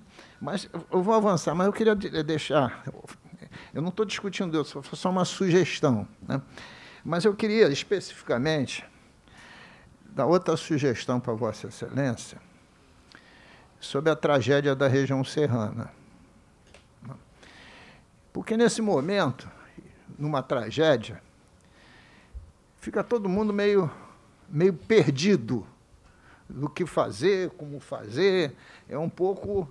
Todo mundo quer ajudar, isso é positivo, todo mundo é solidário, mas há uma certa correria. E eu acho que o planejamento, o nível de organização que tem, teria que chegar para o governador, como sugestão, e dizer assim: governador, habitação de interesse social. Tem 303 milhões de reais na LOA de 22. Está aqui. Tem o dinheiro, 5% do Fundo Estadual de Combate à Pobreza, que é 6 bilhões. Está tudo. Tem que fazer habitação popular, está aqui. Não quer dizer que vai gastar os 303 milhões, mas está aqui a fonte de recurso. No INEA, tem uma fonte de recurso especificamente para desastres, que está na ordem de duzentos e tantos milhões de reais. E o senhor tem, o senhor conhece melhor que eu, a sua reserva de contingência para enfrentar as demandas judiciais de aproximadamente 2 bilhões e meio, que sempre dá para tirar um pedacinho, porque nada daquilo vai acontecer conforme planejado, né? porque a justiça não tem um tempo diferente do nosso, né? Eles estão em outro, outro mundo.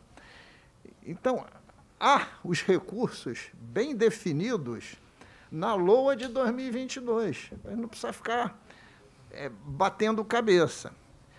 E aí, eu, eu falei isso ainda há pouco, a guisa só de sugestão, é tradicional, em qualquer chuva mais forte, não o desastre de anteontem, que é uma chuva atípica, né? que agora está acontecendo a cada década, né? Petrópolis, como acontece com Friburgo, como acontece com Teresópolis, tem sempre um rio que corta a cidade toda. Por exemplo, Piabanha. Há décadas atrás, eu ouvi uma notícia que tinha um projeto, um estudo inicial, de um extravasor. Porque quando o rio subisse mais com determinado nível, um, entrava o túnel extravasor, captava água e ia jogar depois de bypassar a cidade inteira. Né? Isso é um, um projeto de hidráulica, mas ele poderia ser estruturante para resolver um drama de futuro, porque a gente tem que pensar essa questão da serrana, e estou me extrapolando, a serrana, que é frágil, frágil, muito frágil, né? olhando sempre muito mais para frente. É só como também a título de sugestão antes do senhor sair. Presidente, você me permite? Não, agora, eu, agora eu vou e depois ah, o senhor. Eu, eu posso só falar em relação ao que o senhor falou agora? Não, claro. Deputado, o senhor levantou uma, uma situação e ela é ela é muito pertinente. A gente tem que tomar muito cuidado nesse momento, porque, como o senhor falou, é, o voluntarismo, às vezes, ele, ele traz problemas, porque, eu vou dizer no meio militar que eu vim, três coisas matam o combatente: medo, despreparo e excesso de entusiasmo. Excesso de entusiasmo, às vezes, ele pode causar um problema para a gente. E, às vezes, como a gente tem um histórico de anos, décadas de inação, a gente pega uma determinada situação e acha que, neste momento, está igual aos outros. Então, eu gostaria de trazer alguns fatos em relação a essa situação de Petrópolis. Desde que o governador Cláudio Castro assumiu, ele criou um comitê de chuvas, do qual eu faço parte também, com a parte de logística, a PGE na parte de regulamentação, a CGE, bombeiro, SEDAI e por aí vai. Para você ter uma ideia, desde dezembro, nós já tínhamos 354 milhões de reais contratados para gerenciar a crise, sem nenhuma emergência, entre atas e contratos vigentes, e consumimos 150 milhões. Em relação às atividades do Estado para a prevenção, apesar da gente achar que é apenas uma ação orçamentária que é dedicada àquilo ali, o senhor, que é um especialista em orçamento, a gente sabe que o orçamento público, basicamente, ele nasce de uma maneira conceitual matricial. O que, que isso significa? Que se nós fôssemos olhar o Estado de uma maneira direta cartesiana, nós acabaríamos tendo que ter vários, várias coisas que se sobreporiam e, no final das contas, nós perderíamos economicidade, vantajosidade, capacidade de fiscalização. É por isso que o, o orçamento do Estado ele trabalha no elemento de despesa, ele trabalha na função, ele trabalha na ação orçamentária. Logo, quando a gente vai olhar uma determinada necessidade, nós não podemos olhar do ponto de vista de ação orçamentária ou de um elemento de despesa. Nós precisamos olhar a floresta.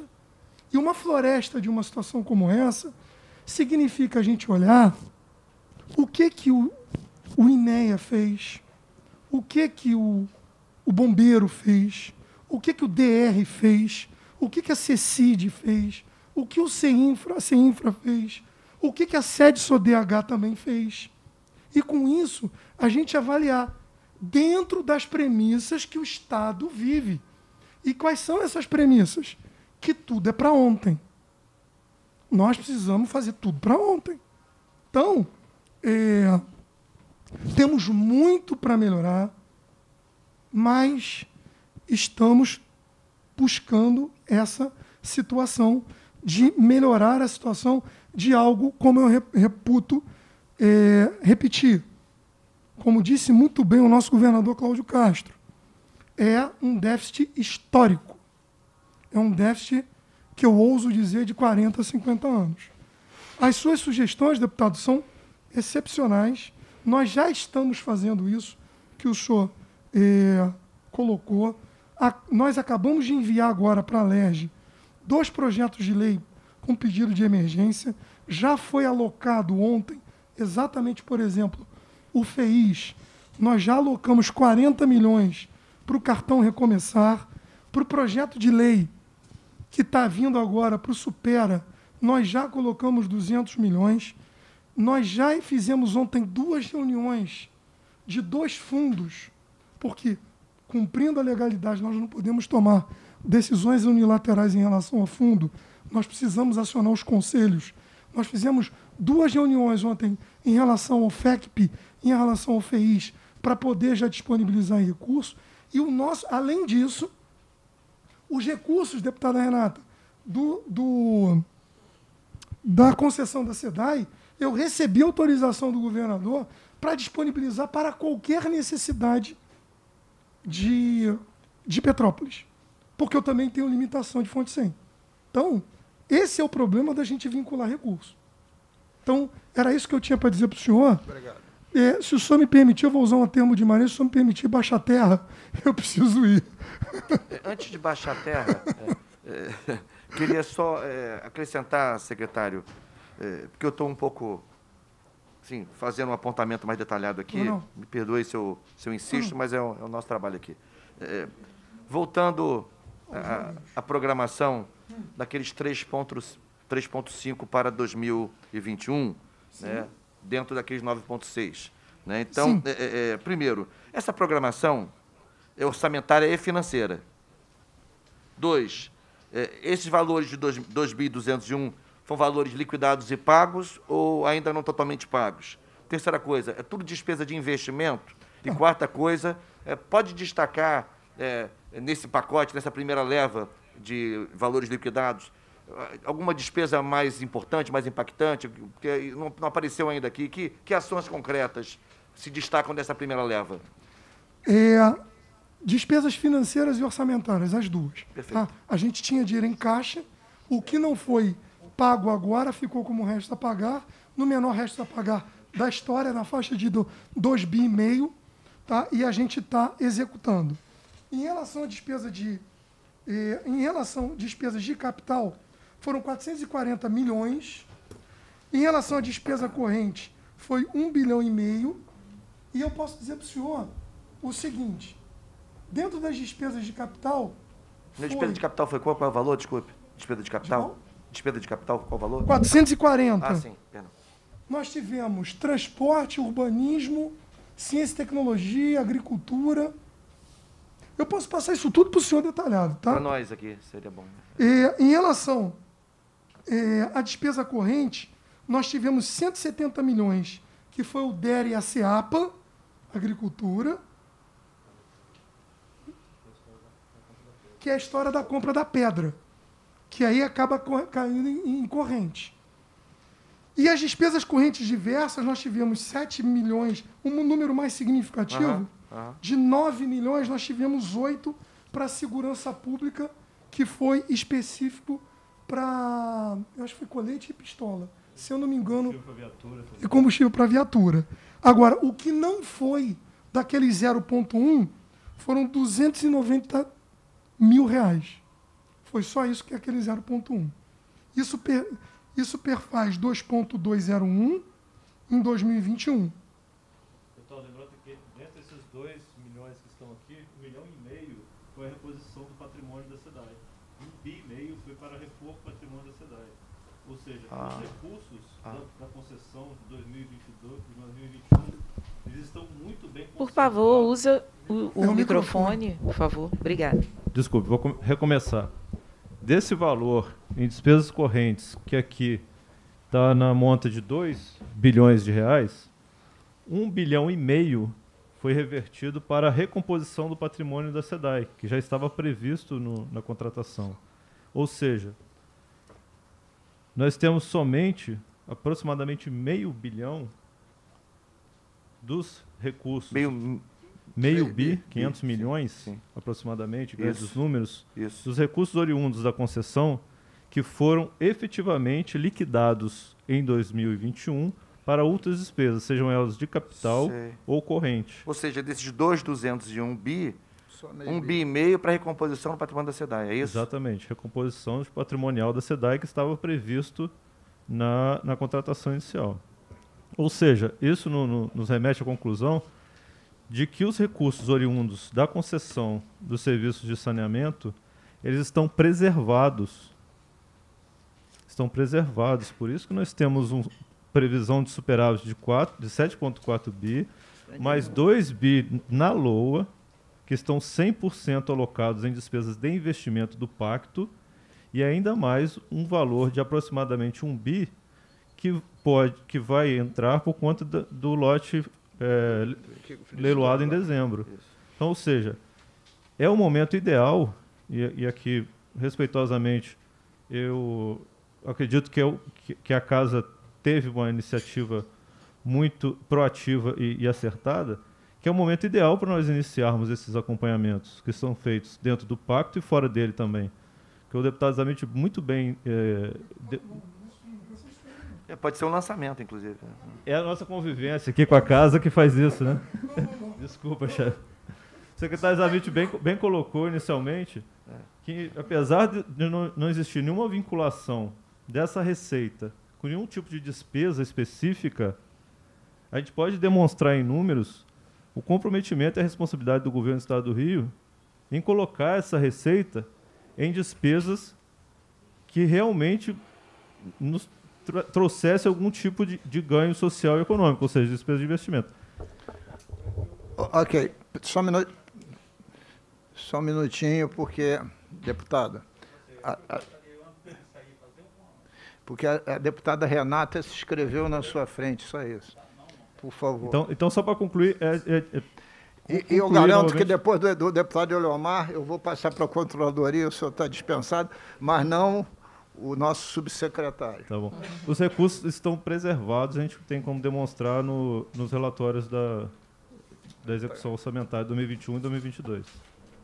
Não, muito rápido ainda aproveitando a, a presença do secretário, é que todos nós estamos de fato mobilizados com relação à situação que aconteceu em Petrópolis e, claro, sabemos é, do, do papel em termos de políticas públicas do governo para que é, todo um processo de desastre natural também seja mitigado. Então, reforçando aqui o que já nos trouxe o deputado Luiz Paulo, dizer é, do no, da nossa insatisfação, inclusive, senhor secretário, com a resposta dada a previsão no programa 044 de prevenção e resposta a risco e recuperação de áreas atingidas por catástrofes. Né?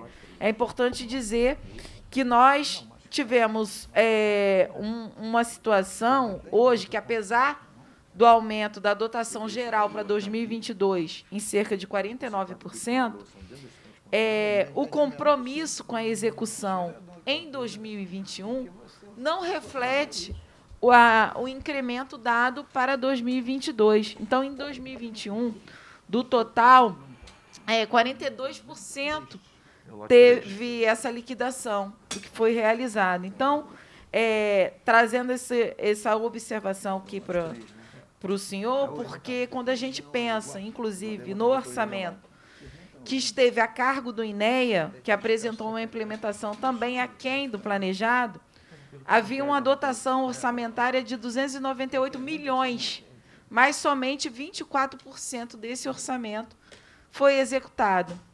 Então, é só para complementar a importância da implementação desses recursos em tempo hábil, antes mesmo que haja uma tragédia, uma catástrofe que é socioambiental. Né? Então, reforçando aqui a necessidade desse orçamento é, de prevenção e resposta a risco e recuperação de áreas atingidas por catástrofes ser também algo preventivo.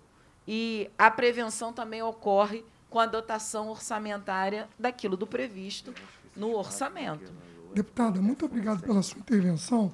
E ela me remete a algo que eu venho falando há muito tempo, que a gente precisa ter, tomar cuidado e deixar de olhar o meio e olhar o fim. O que, que eu quero dizer com isso? Por mais que a senhora tenha dito todos esses números, existiram outras atividades que também puderam atingir aquele mesmo objetivo que nós buscamos. Por exemplo, quando a senhora fala em todas essas ações orçamentárias, a senhora não citou o FECAM, a senhora não citou o Limpa Rio, que são situações que, mesmo não estando específicas para aquilo, elas contribuem. Então, quando a gente olha, ah, eu apliquei X, eu apliquei Y, a gente tem que verificar o seguinte: temos coisas a fazer? Sim. Agora, o que, que deu para fazer e como nós fizemos? Então a gente precisa ampliar o nosso, o nosso escopo de análise e verificar todas as ações orçamentárias, as 10 mil linhas, e ver o seguinte: o que, que eu apliquei? Por exemplo, os 440 do DER, tem muita coisa que foi feita para contenção de, de encosta. E a senhora não comentou. Então, isso é prevenção para desastre.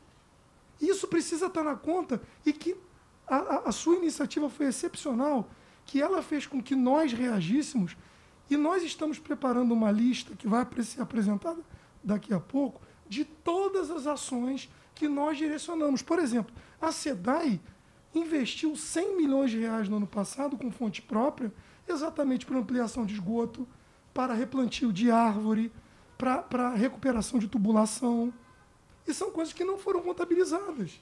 Então, qual é o, o problema? A gente transformar determinadas situações em absolutas sem a gente poder ampliar esse escopo de análise. E eu me coloco aqui à disposição da senhora em apresentar esses números para a senhora e a gente analisar em conjunto o que, que foi aplicado ou não ou por que não foi. Porque também há restrições. Eu vou voltar lá ao que eu disse no início. Até o meio do ano, era 23 bi a menos. Nós conseguimos chegar no final do ano com 350 milhões contratados para essa crise. Nós conseguimos investir o dobro. A dotação específica disso que a senhora falou, nos anos anteriores era 159 e foi a 259. Porque a gente começou a botar a cabeça para fora. Então isso é uma construção. A gente está avançando. O que a gente só precisa é, é num momento como esse, em que a gente está com muita emoção, que a gente está com dor, que a gente está sofrendo, a gente tem que tomar um pouco de cuidado para a gente não amplificar a dor de quem está sofrendo. Esse é o problema. A gente precisa olhar e dizer assim: eu tenho responsabilidade sobre isso? Tenho. Mas o que, que eu fiz e o que, que eu posso fazer melhor? É isso que nós, do Executivo, estamos sendo orientados pelo governador Cláudio Castro. E, mais uma vez, eu digo à senhora: eu vou apresentar à senhora. É, daqui a pouco, assim, eu estou terminando, por isso que eu preciso sair. Eu estou terminando de montar, porque eu fui linha por linha e com cada secretaria especificamente, eu vou telefonar para a senhora e vou dizer o seguinte: olha, nós empenhamos tanto, nós liquidamos tanto, e a senhora vai ver. Secretário, faça chegar a nossa subcomissão. Eu, faço, eu vou dar em primeira mão claro, para ela, já é, que ela comentou, é, e o governador vai anunciar e depois eu faço um ofício para os senhores e apresento. Secretário, não, não. eu acho ótimo que o senhor tenha relações pessoais com cada deputado. Mas na comissão eu tenho obrigação de entregar a todos. Sim, então, o senhor concomitantemente, em primeira mão, encaminha ela e faz chegar à presidência, Sim, porque eu boto no site, aí todos tá têm, têm acesso. Nós também vamos dar transparência nisso no CEPLAG. Pois não, deputado Leomar, prazer rever o senhor. Obrigado.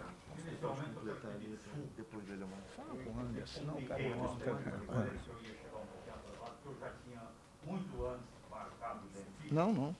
Tem uma situação hilária, posso jogar essa fora, não. com o celular ouvindo exatamente né?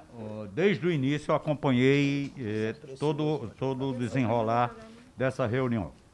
Né? Quero cumprimentar a todos, entendeu? Presidente, em nome do presidente, cumprimentar os, os demais membros aí, efetivo. Não, eu, eu, eu pedi, eh, secretários amigos, eh, a presença de Vossa Senhoria, pelo seguinte, teve uma coisa que me preocupou. É, a questão do controle quer dizer, o órgão receber as informações mais ou menos no nível macro, sem detalhamento.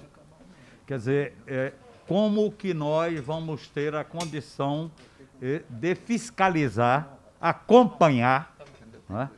porque, é, por exemplo, inclusive Vossa Excelência falando do negócio do, do DR, uma obra de estrada é claro que, primeiro, começa já com o estudo de viabilidade. Eu sempre falo, tem a viabilidade econômica, tem a eh, viabilidade técnica. Eu sempre acrescento, desde muito tempo, a, também a viabilidade social, que de nossa parte merece ter um acompanhamento. Né? Uma obra que, de repente, tem um trajeto, como a gente viu no negócio por ocasião das Olimpíadas aqui, de repente, remoções, entendeu? É, não queria nem saber. E não é assim que a banda toca, né? Tem que ter também um pouco de dosagem humana nesse projeto. Né? E aí o que, que acontece? Quer dizer, o estudo de viabilidade parte para o estudo básico. Esse estudo básico, é, é o estudo que onde em cima dele será desenvolvido o, o, o projeto, o detalhamento, o projeto de forma detalhada. Esse projeto de forma detalhada é onde a gente tem a condição de, pelo menos, eh, prever o quanto que será gasto na obra, quer dizer, a questão do orçamento. Então, e aí tem o acompanhamento, as fases, um cronograma físico-financeiro pra- praticamente para cada obra. Então, isto daí é, é- é- é que ficou uma preocupação de minha parte quando eu- o secretário diz o seguinte, não, nós vamos receber as informações, mas o nível de detalhamento não ficará por nossa conta. Quer dizer, aí como é que, como é que vai ficar isto daí? Hã? Deputado, em primeiro lugar, eu queria agradecer a sua pergunta e dizer que estou muito feliz em ver o senhor pessoalmente novamente, depois desse período de, de pandemia brabo que a gente enfrentou, que a gente só se via por vídeo, né? É, eu desculpa eh, se eu passei uma, uma, uma resposta equivocada, nós não estamos fazendo eh, acompanhamento macro, não, senhor. Muito pelo contrário, é micro. O que, é que eu quero dizer com isso? Um- uma das vitórias de gestão desse governo foi a implantação da gestão de projeto de sistemas complexos. O que, que é isso? Nós pegamos a estrutura de uma metodologia do PMI, que é o Instituto em inglês é Project Management, é, uma um- é um tipo de gestão de projetos. Nós aplicamos isso com as secretarias nos mínimos detalhes, com uma estrutura analítica de projeto extremamente detalhada, no qual nós acompanhamos etapa a etapa, com as suas respectivas fases, responsáveis e o orçamento a ser empregado fase a fase. Então, isso, eu vou passar depois a palavra para o Pablo, que pode detalhar um pouquinho mais. O que a gente hoje está em execução são dar, vamos dizer assim, substância a esse acompanhamento dia a dia. O que, é dar substância? É a fotografia que ele colocou, é o link do, do, do CIAF, daquele momento executado. É isso que está sendo feito. Se o senhor me permitir, eu vou passar a palavra para o Pablo, que ele vai explicar um pouquinho mais detalhado esse nível de controle. Mas saiba que a metodologia implantada no pacto é a mesma que nós estamos fazendo agora no Cidade Integrada, bem no miudinho. Secretário, o Pablo vai entrar de- por final. Eu queria liberar Vossa Excelência, que só assumiu o compromisso de sair às 11 e já são meio-dia, por favor. Depois o Pablo entra, porque agora a gente vai ouvir a controladoria e eu também vou complementar a questão do deputado Presidente. Eliomar sobre isso. Me permite esclarecer uma única dúvida? Mas não, com- não com o secretário, com, com o Secretário, por favor. Por favor. Muito Essa, obrigado, é- tá? essa é mais específica para o Montese. Obrigado a todos. Desculpa, Obrigado. tá? Obrigado. Obrigado. Dá licença. Montese, eh, subsecretário, eh, eh, você há de compreender a dificuldade em que eu me encontro fazendo o máximo de esforço. Sou um professor de Sociologia da Educação e de Política Educacional, então, assim, se me permita insistir. Mas, assim, esses 9,6 bi são fonte 145, Sim. perfeitamente. Eh, bom, então foram, foram destinados 2,1 em 2021, liquidados, enfim, restam, eh, eh, restam 7,4. 6,4. É, Não é isso? Vamos lá. Não, não 7,4. 7.4. 7,4. É, porque dos 3.5 que nós disponibilizamos, que abrimos de- Isso. de crédito, de crédito, e não e, e desses, Mais a um- sobra um bi- do que não, é, um do bi que não não foi- executou. não foi é, liquidado. Beleza, 7,4. Beleza. Exatamente. Aí, Vossa Senhoria disse mais 4 bi da LOA. mais dois. Ah, do- dois. 2.17 que, tá- Ah. que estão na LOA. Fonte 100. Fonte ce- 145, falando só de Tá. 145. Ah, então esses dois pontos. Quanto da LOA? Quanto? 17. 17. 2.17. Estão dentro desses Este- 7,4. Não. Ah, bom, então queria entender. É, isso. 2.17 são recursos previstos para entrar no, no caixa em 2022. Então, esses é que podem ser Do Iguar. colocados... Exatamente. Peraí, mas ser- é do lote, desse lote leiloado em dezembro? É. É, do último lote Achei que fosse. Ah, ah, tá. Porque na LOA só pode entrar a previsão de receita do exercício Do Tá. exercício. Então, 2022. então dos 9,6 restam 7,4, mais esses 2,17 Exatamente. que devem entrar em função do último, Do último leilão. do último leilão. Exatamente. Então, que restabelece praticamente o número original de 9 É. pontos. E, quebrado. e- e ainda, menos de um bi, que não, não tem um número Ah. fechado, que De é onde? remanescente do, do- da segunda parcela, né? Segunda parcela que a gente ainda recebe do leilão anterior, que aquele leilão, leilão- o primeiro leilão ele ainda não foi pa- parcelado. ainda tem uma parcela Então nós que temos três, três contas aí. Temos uma que está na LOA, Tá. que é a previsão de recursos que vai entrar esse ano. 2,17. né? Tem uma conta que é superávit, Sim. que é crédito adicional, Isso. depois que ele for contabilizado, nós é, implementamos o orçamento para ele, ele não tem orçamento, ele é um crédito adicional, Certo. não é previsão de LOA ainda. E temos ainda um, um outro número que é excesso de arrecadação, que é recurso que entra no exercício e que não estava previsto na LOA. Aham. Então tem três recursos para 2022. Aham. O que está previsto na LOA, o que é superávit e o que pode ser excesso de arrecadação. né? O superávit é um recurso certo, porque ele já está Sim, contabilizado. claro.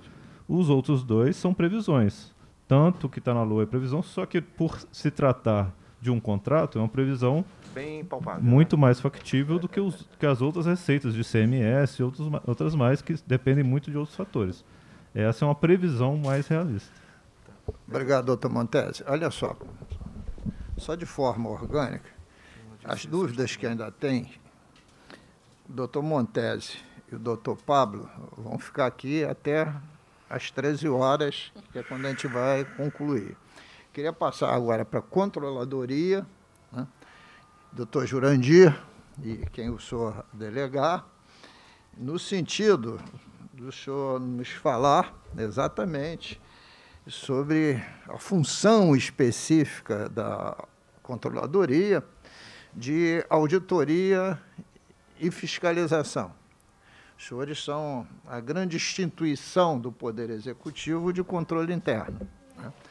E exatamente, tendo um programa dessa dimensão, queremos saber a organização, o, eh, o modus operandi com que os senhores estão eh, estruturados para fazer esse controle.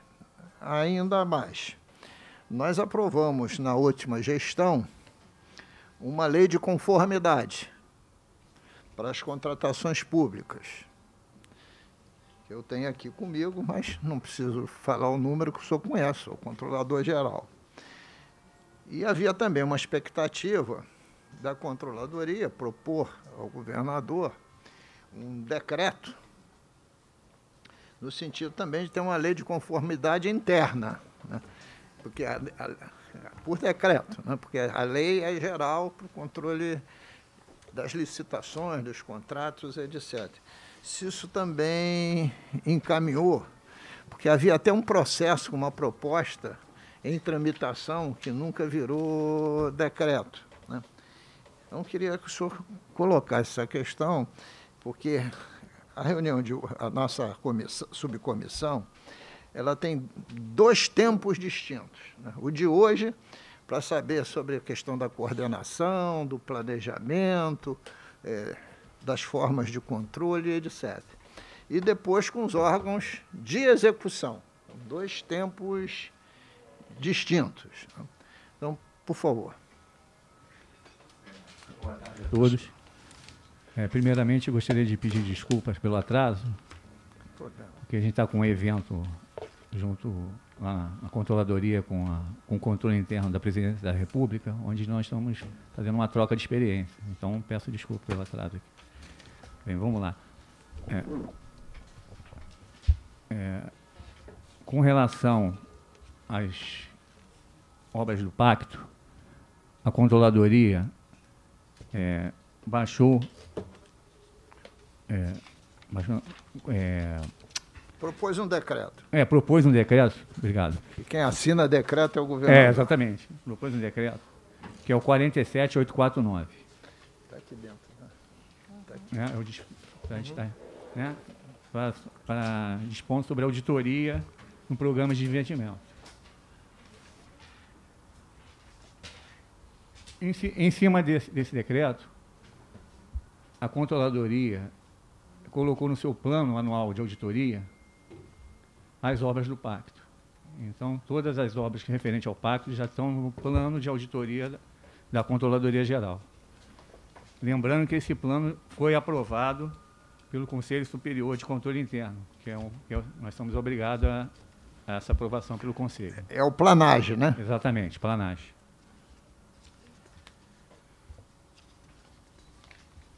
E também é, baixamos na resolução 49 de 2021 que as 49 de 2021. Isso. Tem, tem aí no, no Ah, tem, tem aqui? Tem aí. É porque eu só estou com a primeira. É. Eu estou olhando só a primeira É. folha. É, porque esse aí é o ciclo que o senhor estava É, olhando. é, eu estava preocupado em olhar o ciclo para poder também, mas está aqui. É. Terceira folha. É. Que as, as unidades setoriais de controle interno priorizassem também, no seu plano de auditoria, as obras do pacto. Vou fechar o ciclo. E, e baixamos a resolução 123 de 2022, definindo eh, os procedimentos de auditoria de caráter preventivo, ou seja, eh, antes da, da contratação, as unidades setoriais vão fazer essa auditoria, sem prejuízo da, da auditoria da CGE, que a gente está focando mais na, na área de execução, né, devido ao montante. Mas essa resolução é específica para as unidades setoriais façam o seu a sua auditoria preventiva e nos comunique né, em qualquer eventualidade. E, independente disso, a gente também já está faz- preparando um curso de capacitação para essas unidades setoriais, porque não tinha esse hábito de fazer essa auditoria preventiva. Então, nós, preocupados com esse montante, baixamos essa, eh, essa resolução nesse sentido. Seria mais ou menos esse o ciclo da- do controle interno com relação às obras do pacto. Queria fazer algumas poucas perguntas a, a Vossa Senhoria. A primeira é extensiva ao nosso procurador. Como o senhor está vendo, eu sou antigo. né? Só o deputado Eliomar consegue ser mais antigo que eu. Quando eu estudei Taylor, Taylor e Fayol, você veja que o secretário se baseia em Piemonte, eu me baseei em Taylor e Fayol, porque os fundamentos vieram todos lá. né? Eu aprendi uma sigla, viu, deputado Eliomar, o senhor que também é da nossa época, que eu nunca mais esqueci, viu, Montese? Chama POC. P-O-C-C, POC. Que até foi um, uma instituição, o Eliomar conhece, a POC, né? não de Taylor e Farol, que lutava fortemente contra a ditadura para implantar o socialismo no Brasil. Depois você ensina aí ao nosso querido violinista, que não- violinista não, violonista, está aí do seu lado, que é planejar, organizar, comandar e controlar. Quer dizer exatamente isso. Por isso a gente está fazendo essa reunião. Porque se eu chamasse aqui a Secretaria de Obras, ia ser uma sa- salada de fruta e ninguém ia entender nada. Chamasse o DR, tem que entender também como é que está esse sistema estruturado. A Lei 4.320, de 64, que aqui tem uma outra, que na verdade repete os princípios, que é a 287, né? ela é muito sábia quando classifica as despesas. Né? O secretário, quando fala o negócio da pedra, né? a pedra que ele está dizendo é a brita. Para você fazer o concreto asfáltico, um dos ingredientes, um dos ingredientes é a brita, brita 0, brita 1, brita 2, etc. Quando isso foi pensado em 64, né, as unidades federativas faziam muitas obras por administração direta. Fazia-se concurso para engenheiro, para arquiteto, para geólogo. O DR tinha usina de asfalto, comprava o asfalto do fornecedor, que na época só era Petrobras, comprava a brita das pedreiras e virava a massa tinha seus próprios caminhões, se precisasse reforço, contratava mais caminhões, e evidentemente que isso era custeio. Está entendendo? Agora, né, ao longo dos anos, não é um atributo só desse governo, a administração direta foi destroçada. Não sei nem mais se tem alguma usina funcionando. Não sei nem mais se tem. Tinha diversas. Só em Parada de Lucas tinha uma muito forte que atendia toda a região metropolitana. Bom. E as obras, por isso é que vai a pergunta, eram fiscalizadas por engenheiros, arquitetos, geólogos, não importa a formação, com matrícula e concursados. Isso na época da 287, da 4.320. E essa é uma preocupação minha, que se ter terceirizou tudo no Estado, tudo. Até a fiscalização, Leomar. Aí, imagine o senhor, eu não sei se o senhor é funcionário público. Não. Não. Mas o, o senhor procurador o é, esse eu tenho certeza. Não tem nenhum procurador que não seja funcionário público. E um dos concursos mais difíceis que tem aqui. Eu acompanho. Hoje, eu não estou falando análise de um governo. Pega lá o Instituto de Engenharia e Arquitetura, o senhor conhece bem, aí nomeia um presidente que pode ser formado em administração, se for formado né, em administração. Entende tanto de obra pública quanto eu de pilotar avião. Não tem matrícula. Ele tem matrícula com um carro comissionado, mas não é funcionário público. Vira fiscal de contrato. Eu sei que tem três fiscais. O decreto determina três fiscais. Eu já fiz um debate sobre isso com procuradores. Né? Ah, que os tempos passaram, agora tem que ser mais flexível, as terceirizações, aquela história toda. Mas eu pergunto, e aí vai para os dois. O fiscal, aquele que ateta, atesta a fastura, Imaginemos que o contrato, o, o decreto que é regulamentatório tenha seguido a risca. São três fiscais. Imagino que sejam três. Não teria que ter pelo menos um ou dois que fossem funcionário público? A pergunta. Eu queria saber como é que está a normatização, porque no fundo, no fundo, tudo que vai ser pago, que é, o, o, empenhado, o liquidado, pago, tudo depende de quem lá na ponta da linha está testando. Se a, a, o, se a falha acontecer na ponta da linha, todo esse sistema vai ser bypassado. Né? Todo esse sistema não vai pegar isso. Porque ninguém pega lá na ponta da linha, se faturou mil metros cúbicos de terraplenagem ou 100 milhões de metros cúbicos. Então, eu queria saber se essa primeira questãozinha sobre o controle, se quem atesta as faturas, se tem que ter pelo menos um, dois, ou que até os três, serem funcionário público. Se eu não souber, o nosso procurador seguramente saberá. Fale para um ou para outro. Não, preferencialmente tem que ser é, funcionário público. Preferencialmente, mas não tem sido assim. Preferencialmente. É. Preferencialmente não é obrigatório, é preferencial.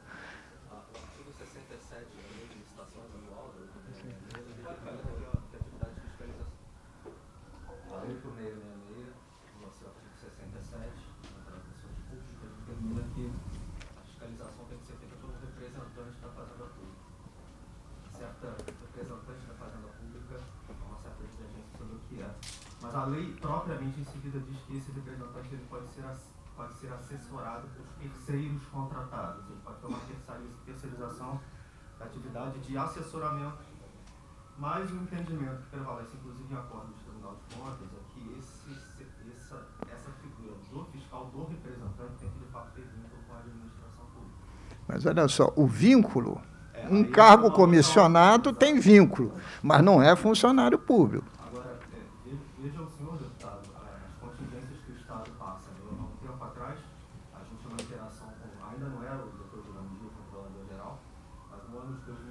agora que a gente começou a montar as comissões do SPAR, que são os processos administrativos de responsabilização previstos na lei anticorrupção. E a regulamentação toda previa que essas comissões deveriam ser formadas por três servidores efetivos ou mais três servidores efetivos suplentes. E a gente foi lidar com a realidade do Estado, a gente via que tinha órgãos do Estado que não tinham um sequer. Ou seja, é é uma estrutura infelizmente herdada de uma certa precarização do serviço público, que é de se lamentar, eu compartilho com, com Vossa Excelência essa, essa ponderação. Mas, enfim, é circunstancial. É, o estado ideal está um pouco distante, infelizmente. Mas olha só. Não é nem o ideal, às vezes é o mínimo, porque tem Exato, órgãos que não tem servidor concursado nenhum. Mas veja nenhum, só. Nenhum. Exato. Veja Vem- só. Vão entrando É, e vão saindo é- comissionados sem parar. Deixa eu voltar aqui para o doutor é. Jurandir, depois faço o meu Essa realidade comentário para avançar. Essa realidade que o, que o procurador está falando, é, a gente sofre muito também, porque a gente tem que, Claro. nas instalações de tomadas de contas, essas tomadas de contas são obrigatoriamente tem que ser feitas por servidor público. E a gente tem uma dificuldade nos órgãos imensa de formar essas comissões também. Olha só, eu estou perguntando, né, porque este é um programa de três anos, não é um programa de três meses. E eu entendo e verifiquei isso muito de perto no, em dois momentos, agora em 19, quer seja no impeachment, quer seja na comissão que essa casa estabeleceu para examinar todos os procedimentos na saúde, verdadeiras barbaridades. Você, por exemplo, um cidadão, que eu não vou aqui ficar nominando, não era secretário, era um gestor da Secretaria de Saúde. Ele tirou lá um. Decretou sigilo num processo SEI. Aí foi fazer uma comissão de sindicância para apurar o comportamento dele. Nomearam um carro comissionário que era assessor dele. Você veja como é que estava o nível de descontrole. Eu sei, por exemplo, que numa grande obra de engenharia, você contrata o gerenciamento da obra. Todas as leis, isso não acontece hoje não, isso acontece desde a década de 70. Que seja, naquela época não chamasse gerenciamento, chamasse supervisão. né? Mas ate- atesta a fatura da supervisora é um funcionário público. E quem atestava, até com, com a- a- auxílio da supervisora, mas o atestamento final para pagar, se não tivesse lá o jamegão do fiscal nomeado, publicado em Diário Oficial, a fatura não caminhava. né? Então, eu acho que num contrato longe, contratos longevos como esses, eu garanto que nós temos uma deficiência imensa. né? Eu estou falando da área que eu conheço melhor, engenharia. Eu não, eu não vejo no Diário Oficial, Leomar, concurso para engenheiro, arquiteto, geólogo, há muitos anos. Muitos anos. O INEA desloca seus corpo técnico mínimo, distribuído para as mais diversas secretarias. Mas seria necessário, seria necessário, no meu entendimento, que esses contratos, pelo menos, se vão ser três, pelo menos um fosse, como o senhor colocou, aí não é representante da fazenda pública, não é que seja ligado na fazenda, mas que fosse representante, tivesse responsabilidade na gestão dos recursos do, do tesouro. né? Então, eu- é, porque o cara que não é funcionário público, depois que ele perde o vínculo, e quem tem matrícula vai ficar até o final. Todo dia vai chegar lá no órgão, vai ter que ter a satisfação, etc, etc. Então, a gente, pelo menos, a gente trabalha com aquilo que a gente chama aqui de estado necessário, nem máximo, nem mínimo. Porque senão, sabe, esses ordenadores de despesa, que, que são, no final, os, os maiores responsáveis por tudo, pelas medições, não tem grande responsabilidade. Aí você vai dizer, ah, mas tem pouca gente. Tem. faz concurso público. Não precisa fazer um grande concurso público, mas faz o concurso público. Tem a preocupação. Se tu tens uma secretaria, se todo mundo é de fora, aquela secretaria não podia existir, porra. Como é que você cria uma secretaria que todo mundo é cargo comissionado? E sem qualificação, a grande maioria. Não é o caso aqui, porque o secretário é altamente qualificado, não é funcionário do Estado, mas é funcionário federal. Quando ele é funcionário público, preferencialmente do Estado, mas pode ser do município, da União, enfim, tem a, as suas responsabilidades. E o que o senhor está me dizendo é que não há nenhuma determinação, mas os senhores têm autoridade, principalmente o senhor controlador, com auxílio da Procuradoria, de propor ao governador algum tipo de decreto e modificação para que tenha um funcionário público ali testando pelo menos uma fatura. Eu acho essa, essa fiscalização tripla, eu acho ótima, né? porque Primeiro que é ímpar, sempre haverá, não empatará, e um também fiscaliza um pouco né, o sistema de pesos e contrapesos, mas tem um que tem que ter matrícula. Você veja, para fechar aqui, regime de recuperação fiscal. Quem é que acompanha tudo da União? É um triunvirato. Não um triunvirato? Eles não gostam quando eu chamo de triunvirato, não. Né? Mas são todos três têm matrícula. Um é do Tesouro, outro é do TCU e outro é da Fazenda. Né? Todos têm matrícula. Porque senão não teria nem autoridade e nem conhecimento. Né? E nem conhecimento. Então, era a primeira questão sobre os controles que me pareceu bastante. Isso vem me incomodando é agora, não me incomodando há tempo. Né? Porque senão a gente vai chegar a um determinado momento, não faz mais concurso, mas concurso não tem nem quem fiscalize. Ou se vai fiscalizar, vai fiscalizar de uma forma errática. Porque e um cara. Pior é que vem sendo desmontado o pouco que tem ainda. Sim, e, e o pior é porque quando você nomeia alguém para cargo comissionado, você pode até, muitas vezes, nomear uma preciosidade, né? quando você é um profissional excelente. Mas não é o que vale na média. Né? Quando esse cidadão chegar aqui, o Pablo, e diz que ele é, eu faço questão, que ele é concursado, é gestor, pelo menos se a gente falar aqui em PPA, LDO e LOA, ele não vai tomar um susto. Né? Não vai tomar um susto, porque é um gestor, concursado. Mas muita gente que está nessas cadeiras não sabe nem muito bem o que, que é isso. Ok, deputado Valdec. Não, eu, eu, queria aproveitar esse. esse é só dizer que às, às 13 horas em ponto eu vou, não, vou eu, encerrar. Eu vou ser muito breve. Não sei antes, eh, Luiz Paulo, dizer que se eles ficam chateados quando você se refere a eles como triunvirato, eles ficam furiosos quando me refiro a eles como troika. Mas, enfim, é só para troika. Eles ficam furiosos, mas, enfim, é o que eles são.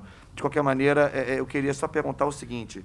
É, há um decreto, senhor Jurandir, é, é, que é o 46873 de 2019, que é o que disciplina o sistema estadual de controle interno do Poder Executivo é, do Estado do Rio de Janeiro. Esse decreto disciplina que as unidades, que os órgãos estaduais têm os seus é, é, as suas unidades de controle interno, não é isso? Todas elas têm. Mas esse, os titulares dessas unidades de controle interno de cada órgão são servidores do Estado ou não necessariamente? Porque no caso das procuradorias, doutor Bruno, cada secretaria tem um procurador né, oriundo dos quadros da Procuradoria Geral do Estado. Essa é a lógica na Controladoria ou não?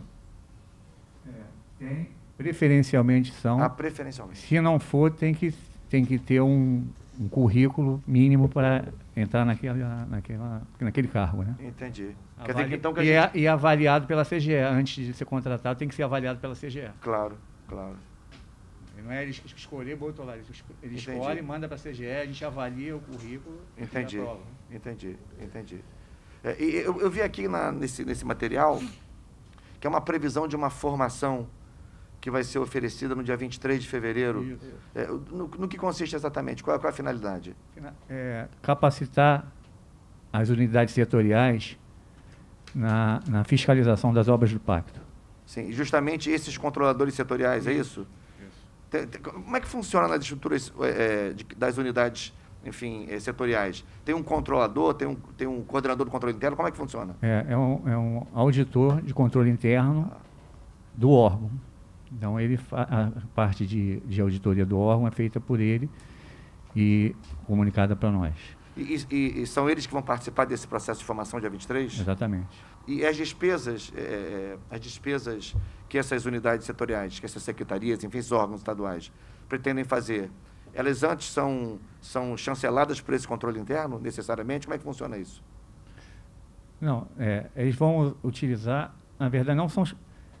Vai ficar a critério de cada gestor, mas ele, ele vai fazer, ele é obrigado a fazer independente da, da do gestor, ele é, o auditor é obrigado a fazer essa fiscalização.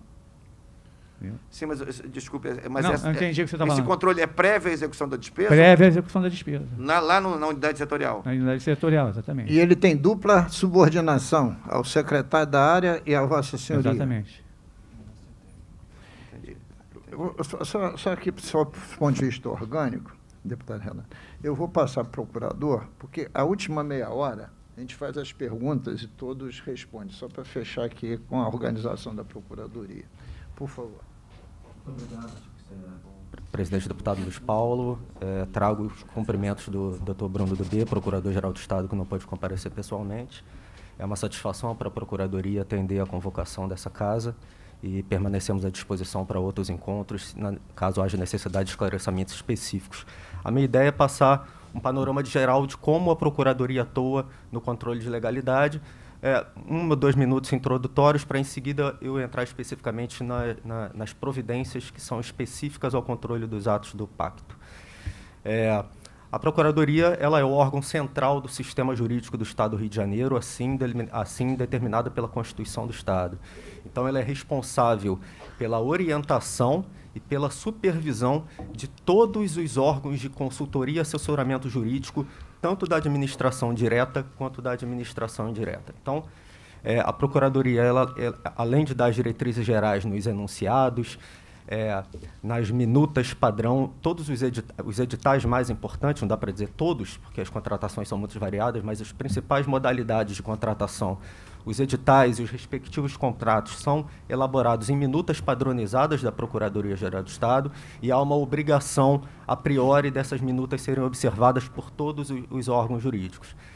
É, quanto à titularidade desses órgãos de assessoramento jurídico, é, desde 2019, pela Lei 5414 a, é aprovada por essa Casa, a Procuradoria passou a ser a titular de todos os órgãos de assessoramento jurídico da administração direta. Então, todos os órgãos com status de Secretaria de Estado são chefi seus órgãos de assessoramento jurídico são chefiados por um procurador do Estado. Tá? E a supervis na administração indireta, há uma facultatividade da indicação de procuradores. Hoje nós temos algumas indireta, entidades da indireta que têm procuradores. Detran, INEA tem previsão legal, Rio Previdência, RJ Prev, é, a SEDAI, atualmente, é, o Instituto Rio Metrópole também nós temos, então, é, mas não é uma obrigatoriedade legal. Conforme a solicitação do gestor, a Procuradoria sempre se dispõe a cumprir esse papel. A atuação da Procuradoria no, é, é, do assessoramento jurídico no dia a dia é a prolação de pareceres nas matérias em que isso é obrigatório ou solicitado pelos gestores. Matérias típicas de, de, de atuação jurídica obrigatória, contratações públicas. Então, toda contratação pública tem um parecer necessariamente de um procurador do Estado, se for dentro da Secretaria de Estado, ou de algum outro assessor que ainda assim, nas indiretas, que está sujeito à nossa supervisão. Esse trabalho, o dia a dia, digamos assim, o grosso do dia a dia, é tocado diretamente de uma forma descentralizada, apenas com essa supervisão da PGE.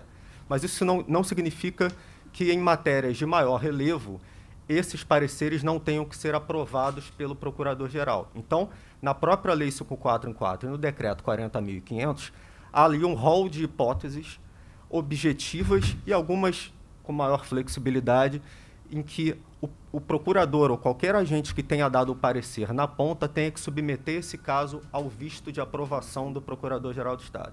Então, esse parecer. Hipóteses. Quando o parecer reconhece uma inconstitucionalidade de alguma norma, como reconhece a ilegalidade de alguma norma.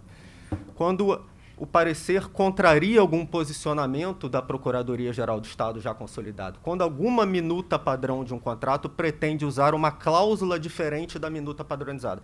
Isso tudo tem que ser remetido.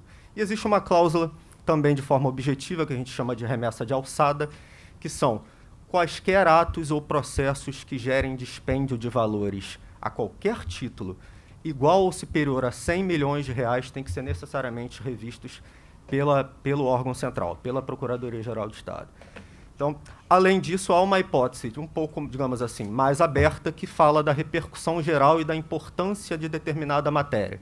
Então, isso, a juízo do procurador na ponta, ele está com uma matéria, ainda que não chegue a 100 milhões de reais, não incide outra hipótese objetiva, ele julga. Isso aqui tem uma repercussão geral, uma matéria de grande importância. Eu remeto para a Procuradoria-Geral do Estado para para visto do procurador-geral, ou seja, para dar segurança, tem uma questão de segurança, a questão de você dividir, né, você ter, ter o compartilhamento, chegar numa decisão mais aperfeiçoada. Esse é o dia a dia da atuação da Procuradoria-Geral do Estado no controle de legalidade, sempre que ela é suscitada a se pronunciar sobre a validade jurídica de algum ato.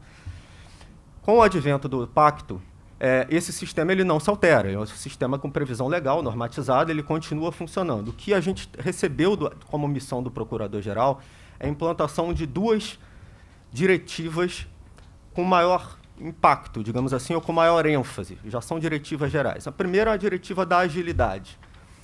A, a, a Procuradoria-Geral do Estado, seus procuradores, o, o, sistema jurídico em geral, não pode ser um, um, um, um elemento de entrave na realização das políticas públicas. E aqui eu não estou falando de concordância necessária, ou seja, os pronunciamentos eles têm que ser profundos, bem fundamentados, mas eles têm que também atender né, à lógica de, de, de, de urgência do, do, do, timing político das políticas públicas.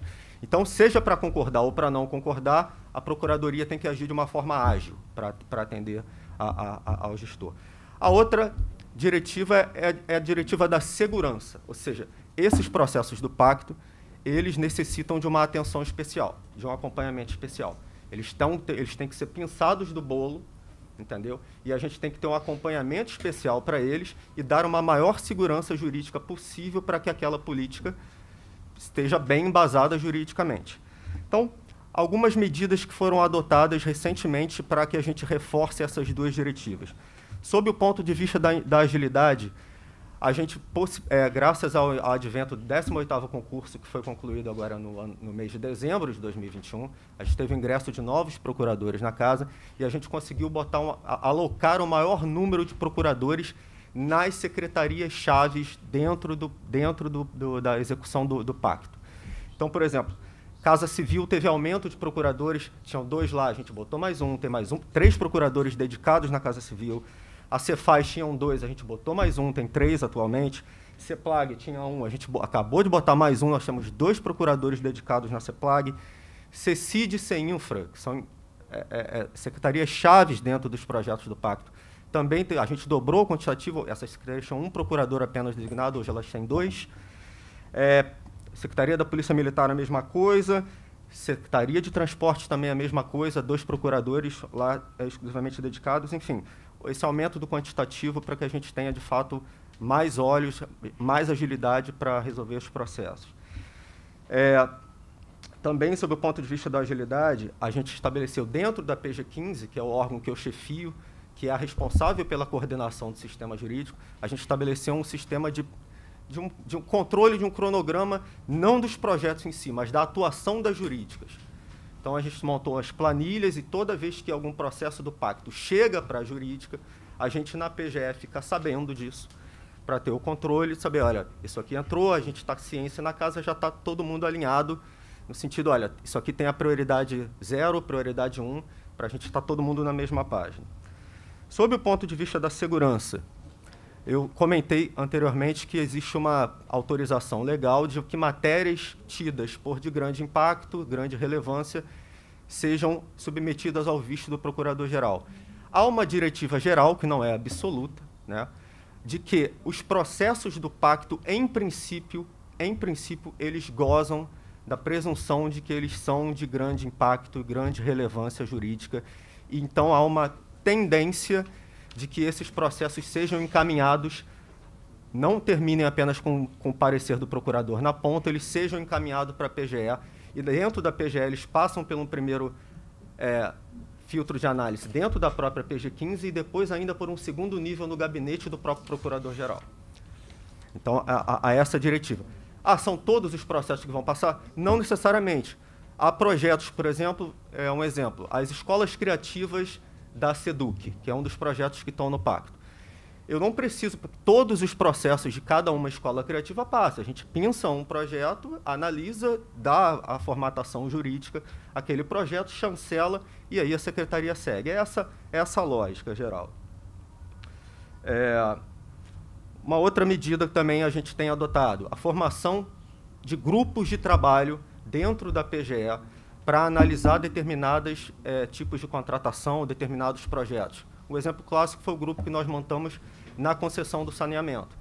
Então, a PGE teve um grupo específico, um grupo de trabalho designado formalmente, que continua constituído até hoje e que ele analisa todas as matérias que, são, que foram pertinentes ao processo de concessão é, da, da, é, do saneamento e a gente continua aberto para essas possibilidades em determinadas matérias.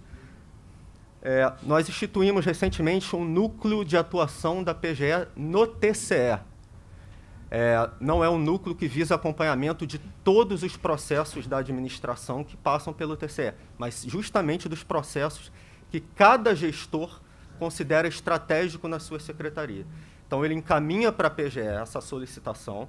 Olha, o processo X trata do edital de licitação da obra que o DR vai fazer em Friburgo tá lá tem alguma polêmica. A Procuradoria atua junto ao Tribunal de Contas também para que esse processo tenha um acompanhamento e a gente possa influir efetivamente é, na formação do julgado. Mas nesses casos são processos que já estão sofrendo algum questionamento do TCE ou ainda não? Não necessariamente. Não Às necessariamente. vezes, simplesmente a, a existência do processo e, a, e, o cadastramento dele no SIGFIS, no sistema, uhum. já gera esse input para a Procuradoria começar a atuar nesse caso. Então, a gente acompanha do início ao fim, faz as peças, faz sustentações orais, a gente está mais presente do que no, do que já, jamais esteve dentro da formação da jurisprudência de do TCE. com a demanda do gestor setorial? Exato. Isso está regulamentado, tá? É, tem tem uma, uma, uma resolução do Procurador-Geral que diz exatamente quais são os procedimentos para encaminhamento desses casos para a PGE e a gente é, é, passa a fazer esse acompanhamento. Por fim, nós temos também dentro da PG15 o chamado Núcleo de Defesa da Probidade, que é um núcleo que existe desde 2019 e que é, é tem essa, esse olhar de vertentes, particularmente, podemos dizer que é um órgão de inteligência que trabalha em sintonia com o Ministério Público e que, em contratações específicas, ele pode ter uma atuação seja preventiva ou repressiva. Então, assim, a gente teve, o, deputado Luiz Paulo citou muito bem o caos que se formou nas contratações de saúde de 2019, foi de fato um caos, mas ainda assim o núcleo teve uma atuação muito importante e conseguiu que, em determinadas contratações, que o prejuízo que ocorreu fosse ainda maior. Então, é, em uma contratação específica, o núcleo fez um trabalho de inteligência, de pesquisa de valores do que estava vendo ali e viu que tinha um sobrepreço de aproximadamente 75 milhões de reais. A gente fez um relatório, encaminhou para o procurador-geral, a época o procurador-geral encaminhou um ofício para o secretário de saúde que sustou todas essas compras. Então, assim, basicamente são essas diretivas, a Procuradoria continua atuando, como sempre atuou, mas, obviamente, ciência, côncia da, da, da, relevância do momento atual e da necessidade de um acompanhamento especial. É basicamente isso que fica à disposição. Agradeço. Eu vou aqui abrir as perguntas e eu vou ficar para o final. Primeiro a, deputada Renata, depois o deputado Eliomar, depois o deputado Aldeck e eu encerro. Bom, é, diante disso tudo, de, dos desafios colocados aqui, né, a gente pôde observar que, no, que houve uma nova fonte de custeio, né, a fonte 145, exatamente para o Pacto RJ. A gente entende as dificuldades que estão colocadas hoje no âmbito do Estado, inclusive né, diante do tamanho do montante desses recursos. Eu quero saber uma pergunta bem bem objetiva. quais as condições estruturais, tanto material e humana, para acompanhar essas movimentações de recursos imensos. Então, gostaria de saber da controladoria, né, o que temos em termos estruturais, porque aqui tem, o senhor apresentou um programa, né, um, quase uma intencionalidade para acompanhar o Pacto RJ, mas a gente precisa saber qual é a estrutura física de pessoal hoje para a controladoria lidar com um tema tão, tão relevante e também de, de atenção para a nossa sociedade. Então, uma pergunta muito direta nesse sentido.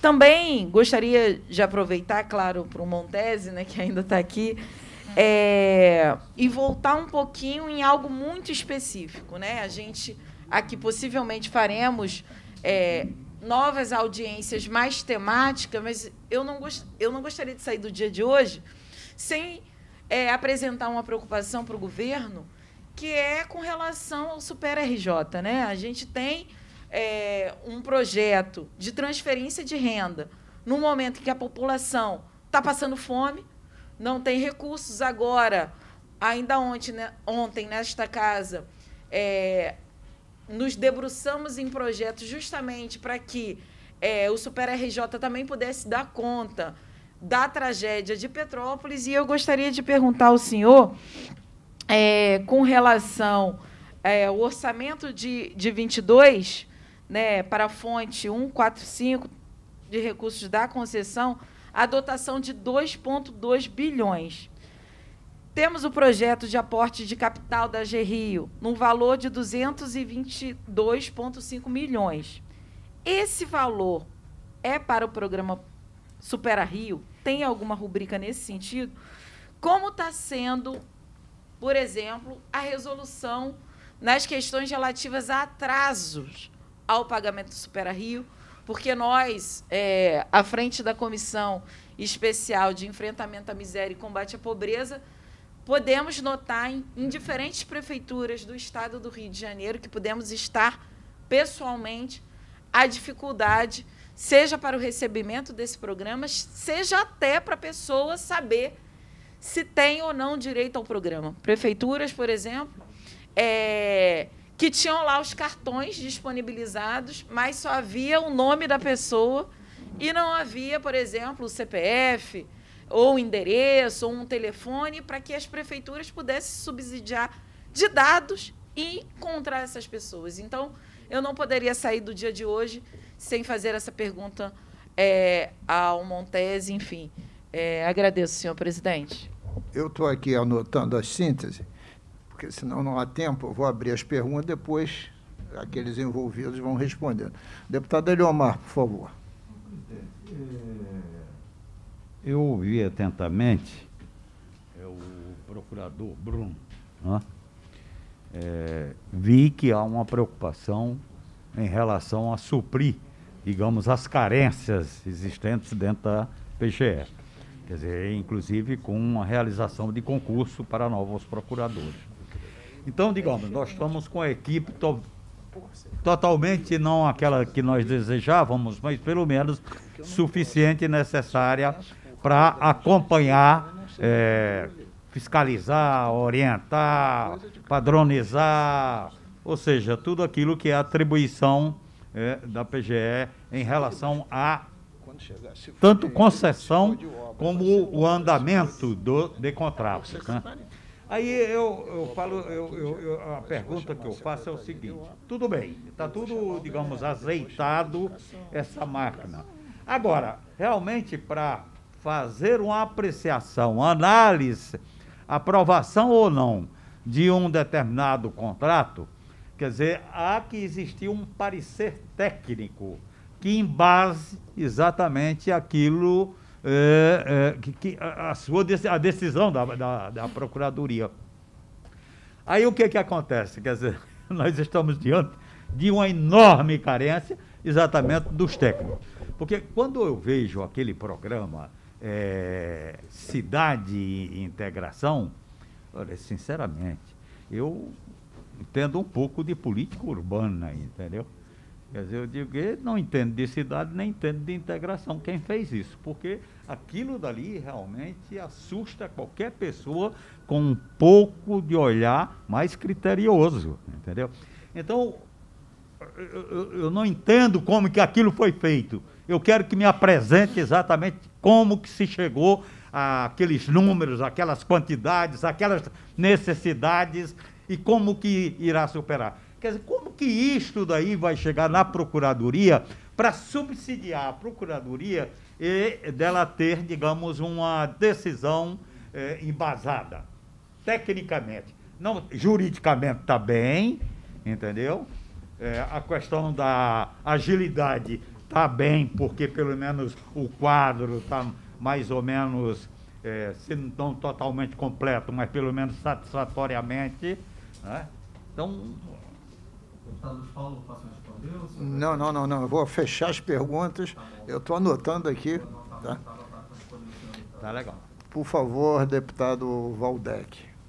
Não, eu vou ser muito breve. Eu só queria acrescentar as questões que já foram é, colocadas. Assim, eu tenho uma preocupação também muito é, intensa é, com essa questão trazida pela Renata. O projeto de ontem, especificamente, foi um projeto para a gente afastar nos períodos de calamidade, as vedações para que o beneficiário, o beneficiário do Super RJ possa receber também outro benefício durante o período de calamidade, porque, como vocês sabem, a lei proíbe que ele acumule benefícios, mas, excepcionalmente, em situações de calamidade, esse, esse o teor do projeto de ontem.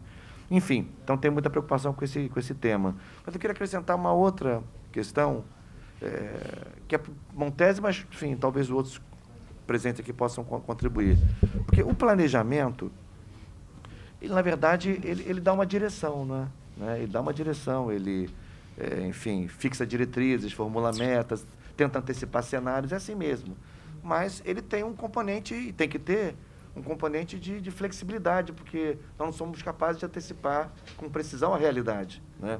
Nesse sentido, eu queria saber é, qual é a, a, reorientação que o governo pretende fazer é, é, em função dos recursos é, previstos para investimentos no Pacto RJ para é, fazer face, para enfrentar esse quadro é, de tragédias e de enchentes e inundações é, no Rio de Janeiro. Não apenas a grande tragédia de Petrópolis, não é? mas também as inundações que se, que se ocorrem em sequência nas últimas cinco, seis, sete, oito semanas no noroeste do estado. Não é? Vários municípios muito afetados. É claro que a tragédia de Petrópolis chamou muito a nossa atenção por sua dramaticidade, pelas, pelo número de mortos, enfim. Mas, assim, todos sabemos também que nos municípios do Noroeste estão sofrendo, desde o início de janeiro, pelo menos, com chuvas sucessivas, torrenciais, inundações constantes, com muitas perdas. Então, queria saber, é, na linha do. Claro que tem uma, tem uma, tem uma, uh, um enfrentamento imediato, né, urgente, assistencial, ali no, no, calor da hora, né, o que já está em curso, né, mas eu queria saber do ponto de vista dos investimentos estruturantes. Né, por exemplo, por exemplo é, é, na área de defesa civil, sabe, é, no DECs, pluviômetros, contenção de encosta. Eu vi uma experiência muito positiva é, presenciei participei ativamente de uma experiência muito positiva em Niterói, né, durante oito anos da gestão do Rodrigo. Muito investimento em contenção de encosta. Investimento que, aliás, chama pouca atenção, né? Ninguém inaugura contenção de encosta, ninguém, né, Renata? Ninguém, ninguém descerra uma placa, ninguém corta uma fita. Mas são investimentos que, que salvam vidas. Né? Então, queria saber é, quais são, é, qual, qual, é, qual a disposição do Estado hoje em relação ao que estava planejado é, no Pacto RJ é, é, é, de reorientação desses investimentos em função do enfrentamento estruturante. O Paulo lembrou agora há pouco a ideia do, do a, a, ideia do túnel extravasor. Né? Tem uma CPI que foi feita nessa casa em 2011, é, em função da tragédia de 2011, que ofereceu várias sugestões, várias recomendações. Eu não sei, Luiz Paulo, eu não estava aqui na época, mas provavelmente mais de 90% delas não foram levadas em conta. Então, queria saber se há uma, uma, uma disposição e se tem alguma linha já por parte do Estado para redefinir os investimentos do Pacto RJ em função dessas tragédias, para, para fazer isso de modo estruturante, né? tentar mitigar, tentar antecipar, é, prevenir outras tragédias, enfim. Então, queria saber algo nesse sentido. Bom, agora é minha vez. Eu acho que nós chamamos aqui, com, as, com as devidas vênias, as cabeças pensantes do Poder Executivo, né, envolvidas no controle, na coordenação, no planejamento do PAC. Então, eu queria aqui abordar duas questões que, em parte, está perguntada. É, Evidencia-se que o pacto vai contratar gerenciamento e supervisões. Mas até, até, essa, até o, a, o, Instituto de Engenharia até já contratou, desde o final do ano passado, né? a Pontifícia Universidade Católica. Né? Não sei se o senhor sabe. Deve saber, né? Porque o senhor recebe tudo. E, exatamente, para entre tantas coisas, aplicar a tecnologia do BIM. Né? BIM, eu, não gosto de falar língua pátria, né? eu gosto de falar as línguas que não são pátria. BIM quer dizer modelo, modelagem, a modelagem dos investimentos construtivos. Né? Esse B aí é de building. E também aplicar a teoria das quatro hélices. Quatro hélices, quer dizer, são os poderes, a sociedade, é, as universidades e a cultura, ciência tecnologia, etc. Apesar que está faltando uma hélice, né? a gente já está na quinta hélice. Né? Que seria o meio ambiente e a sustentabilidade, que é exatamente o que mais falta. Então, a gente quer avançar, então avança um pouco mais. Bom, e por que isso vai ser necessário? Pela falta de quadros. Aí o Eliomar coloca a questão dos estudos preliminares. É muito fácil o gestor pega a caneta e diz assim, eu vou, quero terceirizar isso tudo porque eu não tenho quadro funcional. Aí eu me pergunto, quem é na estrutura do Estado que encaminha ao governador com insistência para dizer assim, para esse pacto funcionar, tem que abrir concurso público. Porque eu acompanho isso no regime de recuperação fiscal, doutor Montese. E está na linha do Eliomar. Os secretários tinham que ter pedido concurso público ao secretário de Fazenda. Cara, se um secretário não tem compromisso com o funcionalismo público, não vai pedir concurso público nenhum. Só acompanhou isso lá na cultura, né, em relação ao teatro municipal. O deputado Elomar é o presidente da Comissão de Cultura. Se o presidente do Estudo de Engenharia e Arquitetura é um extraquadro, por que, que ele vai insistir que precisa do concurso público? Aí eu me pergunto, qual a instância, isso vale para a Procuradoria, para o nosso Montese, para a Controladoria, que vai dizer assim, ó, tal área está crítica. Nem para testar fatura, matrícula, nós temos mais. Então nós precisamos abrir concurso para X áreas. Porque não, não pode ser só. O Estado não é uma. Não, é, não, não pode funcionar, e eu tenho verificado que os senhores avançaram muito, por um impulso. O secretário X pede para o secretário Y. as coisas não são pelos impulsos. Tem que ter um, um grau de, de racionalidade né? para ter essa organização de pessoal. Né? Porque o controlador falou que nas, os auditores de cada secretaria passam pelo menos por um, um, análise curricular e alguma entrevista, porque a grande maioria não são funcionários. A grande maioria não. Quando, para mim, eu aprendi em outra cartilha, parece que rasgaram tudo, auditor, auditor É função de Estado. Pô. O auditor não pode ser terceirizado. Né? Mas está terceirizado. A gente viu isso lá na saúde, procurador. Auditor terceirizado lá. né? Bom, então essa é a primeira questão. Quem é que vai fazer essa função? Quem controla pessoal hoje é a Fazenda ou é o planejamento? Eu acho que é o planejamento hoje, não é? Mas tem um órgão que controla pessoal. Não sei nem. Porque isso muda também toda hora de lugar. Um dos nossos grandes problemas, pro- procurador, em muitas áreas, é a volatilidade. Como é que uma secretaria pode funcionar? E essa preocupação tem a ver com o pacto. Se numa gestão você tem cinco secretários que se alteram, muda as equipes todas. Continuidade como? E muitas vezes você tem até um que está razoavelmente indo bem, sai porque entra outro que não entende nada daquilo, e o tempo vai passando. né? Então, eu- eu- essa organização, né, que no meu entendimento, do ponto de vista dos, da- do planejamento e dos controles, avançou, tem que avançar com essa área de alocação de pessoal, que é a pergunta também da deputada Renata.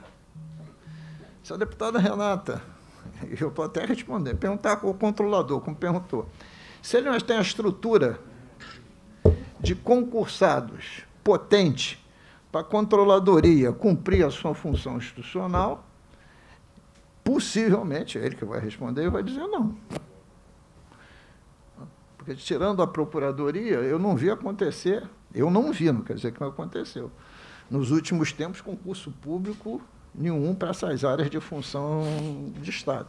Aconteceu por gestores, mas não foi nesses últimos tempos, foi lá atrás. O senhor mesmo disse que entrou em 2011. Então, eu, porque essa é, é. Porque, por melhor que seja, as organizações precisam de pessoas. E pessoas credenciadas, habilitadas e autorizadas. Então, a minha preocupação, que pega ao mesmo tempo a deputada Renata, a pergunta do deputado Eliomar, é essa. Como é que vocês estão pensando isso? Porque o secretário Nelson Rocha ele vai ficar lá. Daqui a dois anos o regime vai ser revisto. Se a demanda vai chegar lá, eu não sei. Mas pode ter lá uma coisa orgânica que chega para o secretário de Fazenda, né? Ele diz que, ó, área X, Y, Z tem que abrir concurso público, tem que estar dentro do, do regime. E essa decisão, no meu entendimento, tinha que vir do, de um órgão central do Estado, que inclusive faça a gestão de pessoal, porque vocês têm um controle. Por função, por carreira, quantos funcionários tem, são ativos, inativos, então vocês têm todo esse controle pelas. Né? Então, é, é essa questão central. E eu perguntar também ao controlador, aí não é pergunta técnica, não.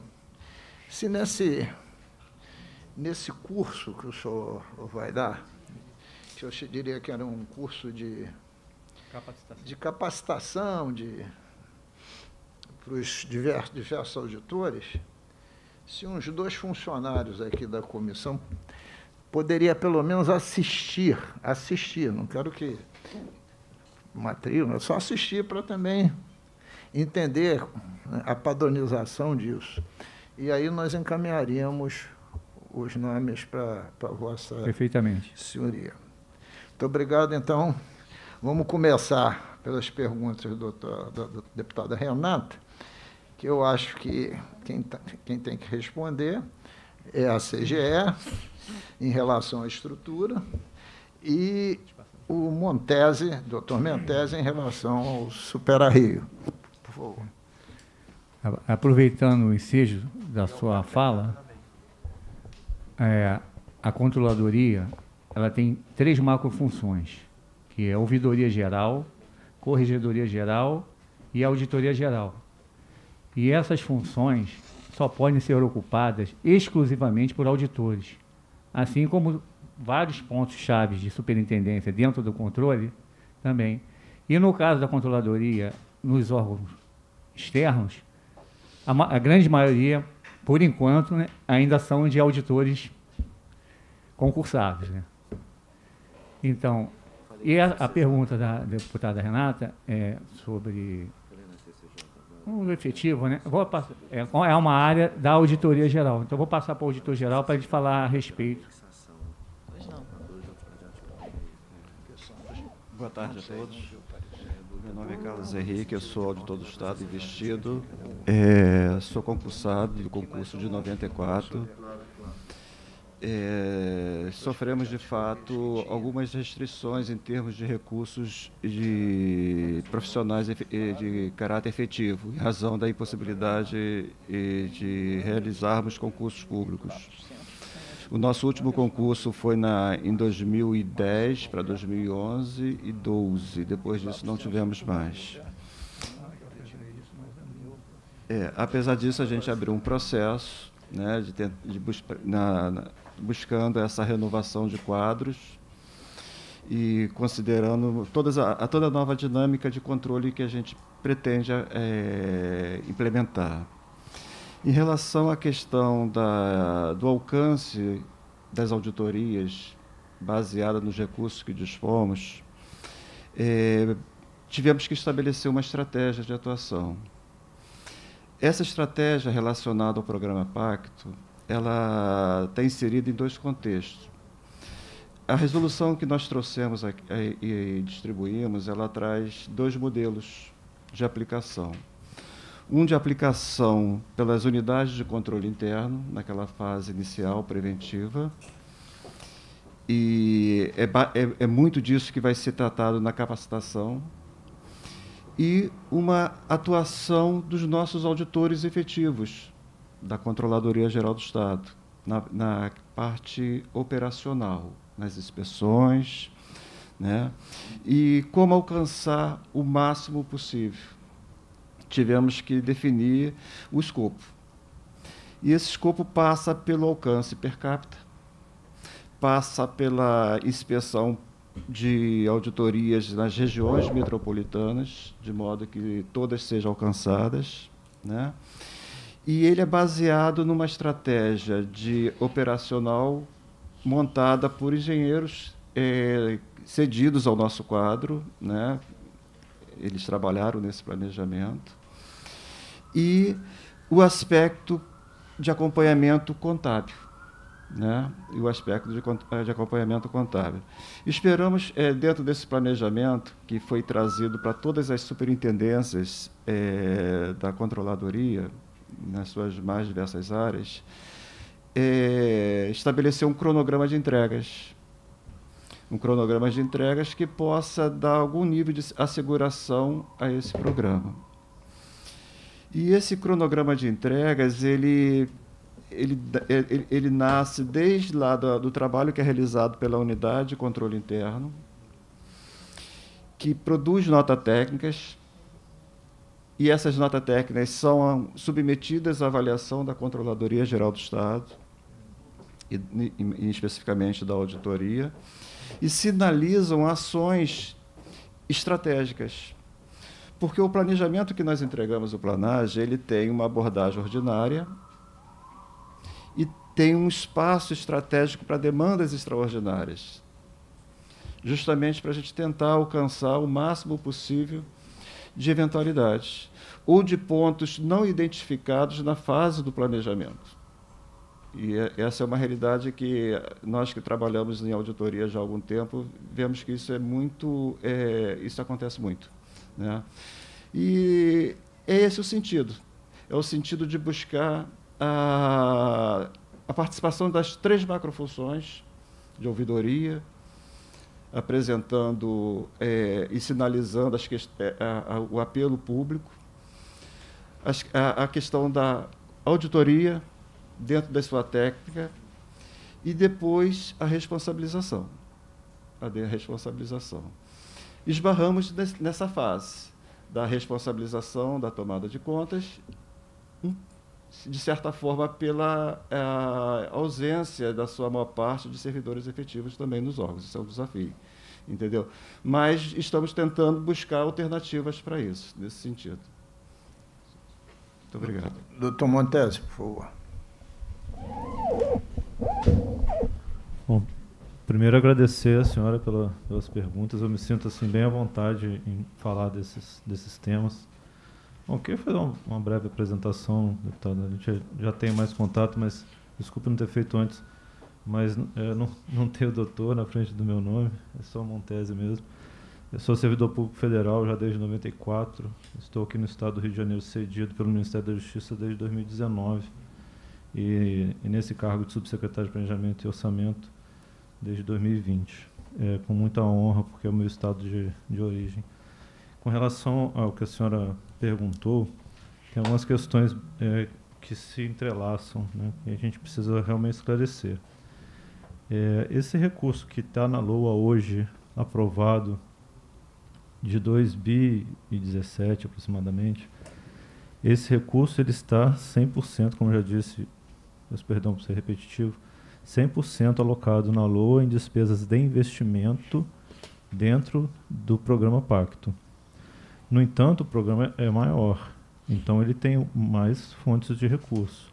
Então tem lá dentro do programa Pacto fontes do Tesouro, fontes dos fundos estaduais, fontes próprias dos órgãos e essa fonte da concessão do, do serviço de água e esgoto, que foi oriundo lá da, da SEDAI.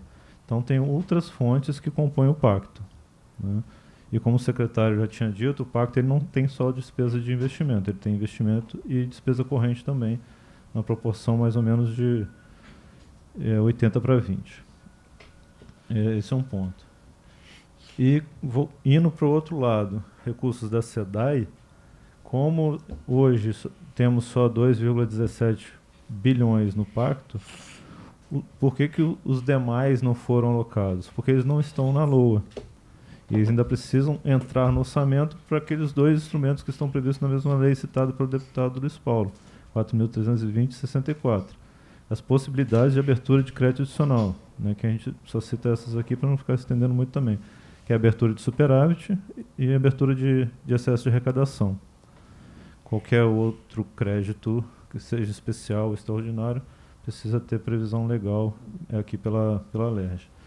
Aí indo para o, a questão é, social, né? vamos chamar assim. Porque tem três, três fundos estaduais que tratam diretamente da questão social. Aí tem o FECAM que pode também, mas deixa eu me limitar a essas três. O FECP, o FEIS e o FISED. Dos três, o FECP é o que tem um montante maior de recursos, que hoje tem é, autorizado no, no orçamento disponível 2,7 bilhões já em que o, o FECP sofre DREC, perde 30%. Perde não, né? Ele sai do fundo e vai para o tesouro para outras despesas. O FEIS, que é 5% do FECP, a gente deixou desde o ano passado de aplicar a DRE no FEIS. Então o FEIS está 100% livre, não tem nenhuma aplicação de desvinculação de receita no FEIS. Então ele sai do, do, do, do FECP, 5% desse valor do FECP, ele vai, ele vai para o FEIS. E o FECP, só relembrando, ele é 5% adicional à arrecadação de CMS, por isso é um valor bem expressivo. O FEIS historicamente não é executado, né? O FEIS, historicamente, ele, historicamente ele, não é executado. ele tem um problema de execução, que já foi até tratado aqui na, uhum, nas claro. contas do, do governo. Né?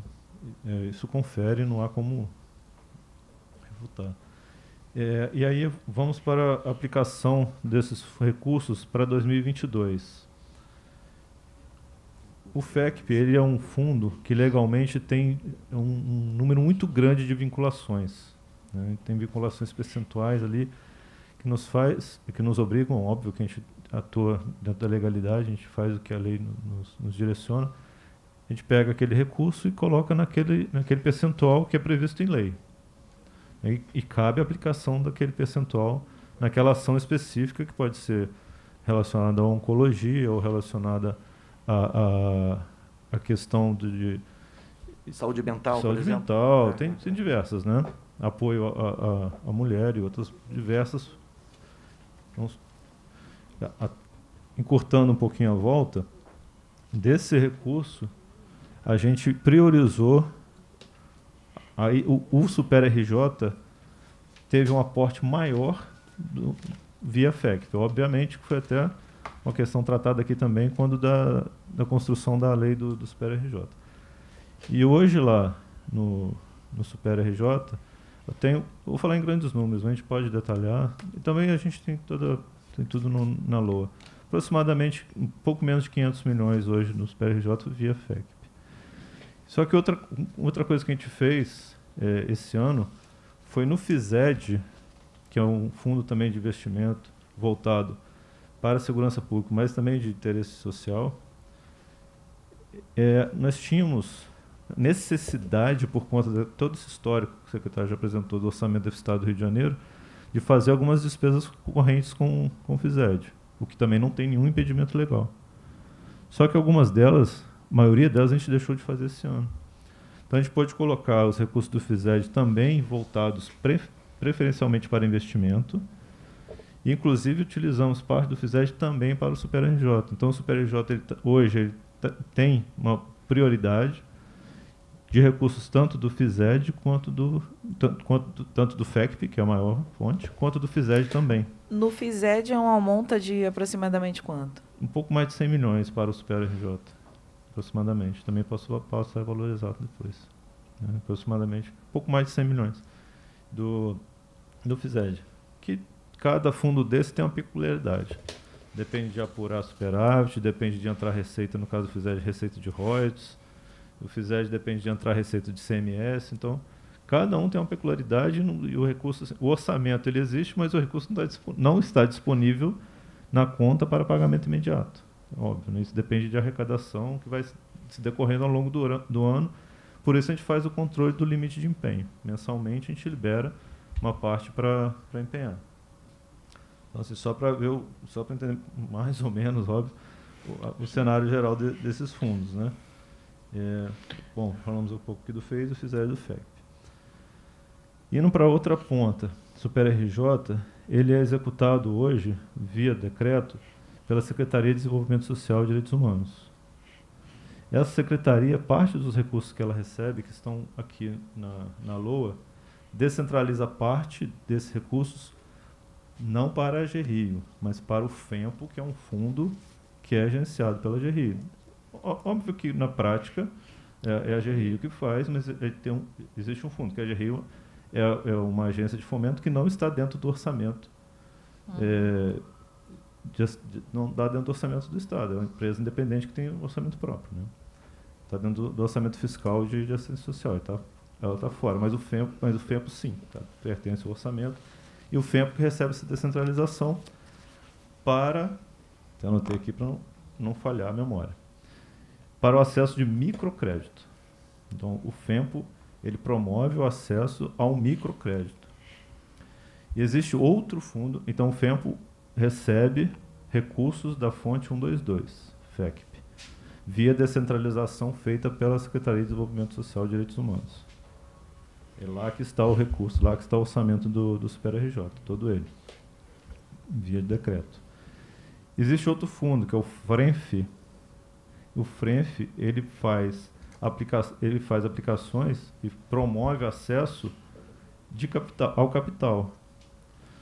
Então, ele, diferente do FEMPO, que trabalha com microcrédito, o FRENF ele trabalha com acesso de capital tanto para pequenas, médias e grandes empresas. Então, ele tem uma amplitude maior. E aí a gente está falando de despesa de capital. A gente está falando de investimento. No FEMPO, não. No FEMPO a gente não fala de investimento. A gente fala acesso ao microcrédito, que são pequenos valores, que a gente conhece como é que funciona. Mas no, no FRENF, aí a gente tem possibilidade, também não há vinculação legal, mas assim, por decisão, por acreditar que seja o melhor caminho, a gente tem condições de alocar no FRENF recursos da fonte 145 SEDAI, por ser mais, por, pelo objeto do fundo ser mais relacionado às despesas de capital. É, e com relação a, ao programa Super RJ, assim, para não deixar. Talvez a resposta não seja totalmente completa, mas para não ficar muito incompleta, o orçamento ele está disponível na, na DH, tanto da fonte é, FEC 122 quanto da fonte FISED 103.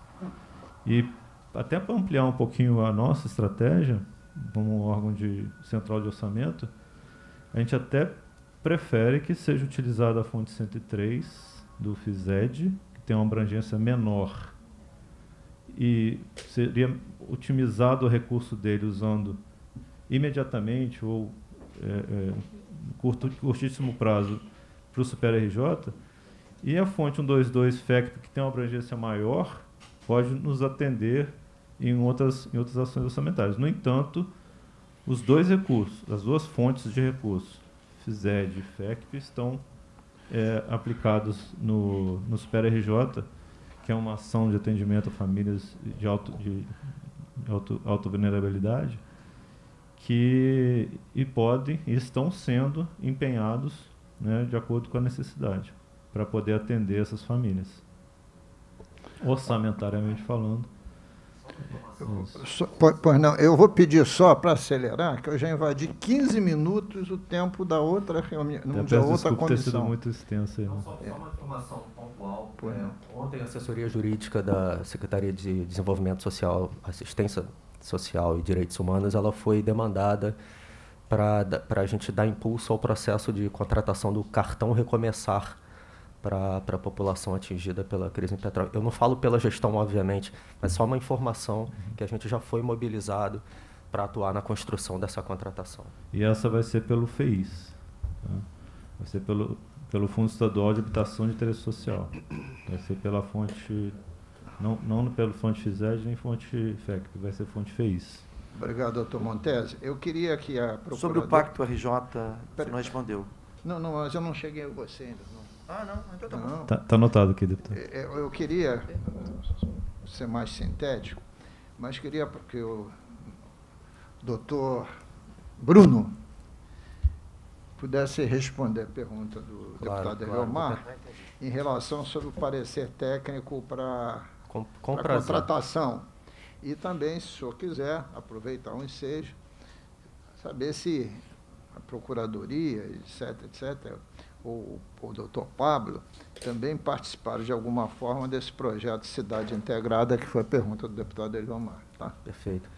Deputado Eliomar, é muito precisa e oportuna a sua pergunta. De fato, é, a questão técnica nas licitações, os estudos técnicos são pertinentes à fase preliminar, que é a fase interna, antes do lançamento edital, do, do, dos editais, eles são a, a peça-chave de uma boa contratação pública. E não só no Rio de Janeiro, acho que o Brasil inteiro ele se ressente de uma melhor qualidade nos elementos técnicos das suas contratações. Eu, eu diria que, é, rapidamente, é, é, me vem à mente três razões. Deficiências de quadro, né? essa é uma mazela do serviço público brasileiro em geral.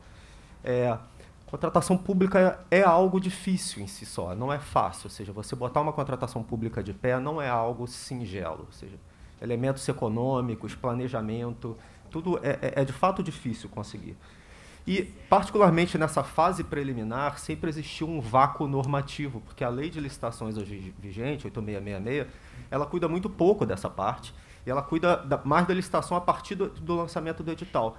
Então não existia muito uma praxe é, uniformizada de quais seriam as melhores práticas na elaboração desses elementos técnicos, que tem a ver com o objeto em si que vai ser licitado, os quantitativos, os elementos econômicos da contratação.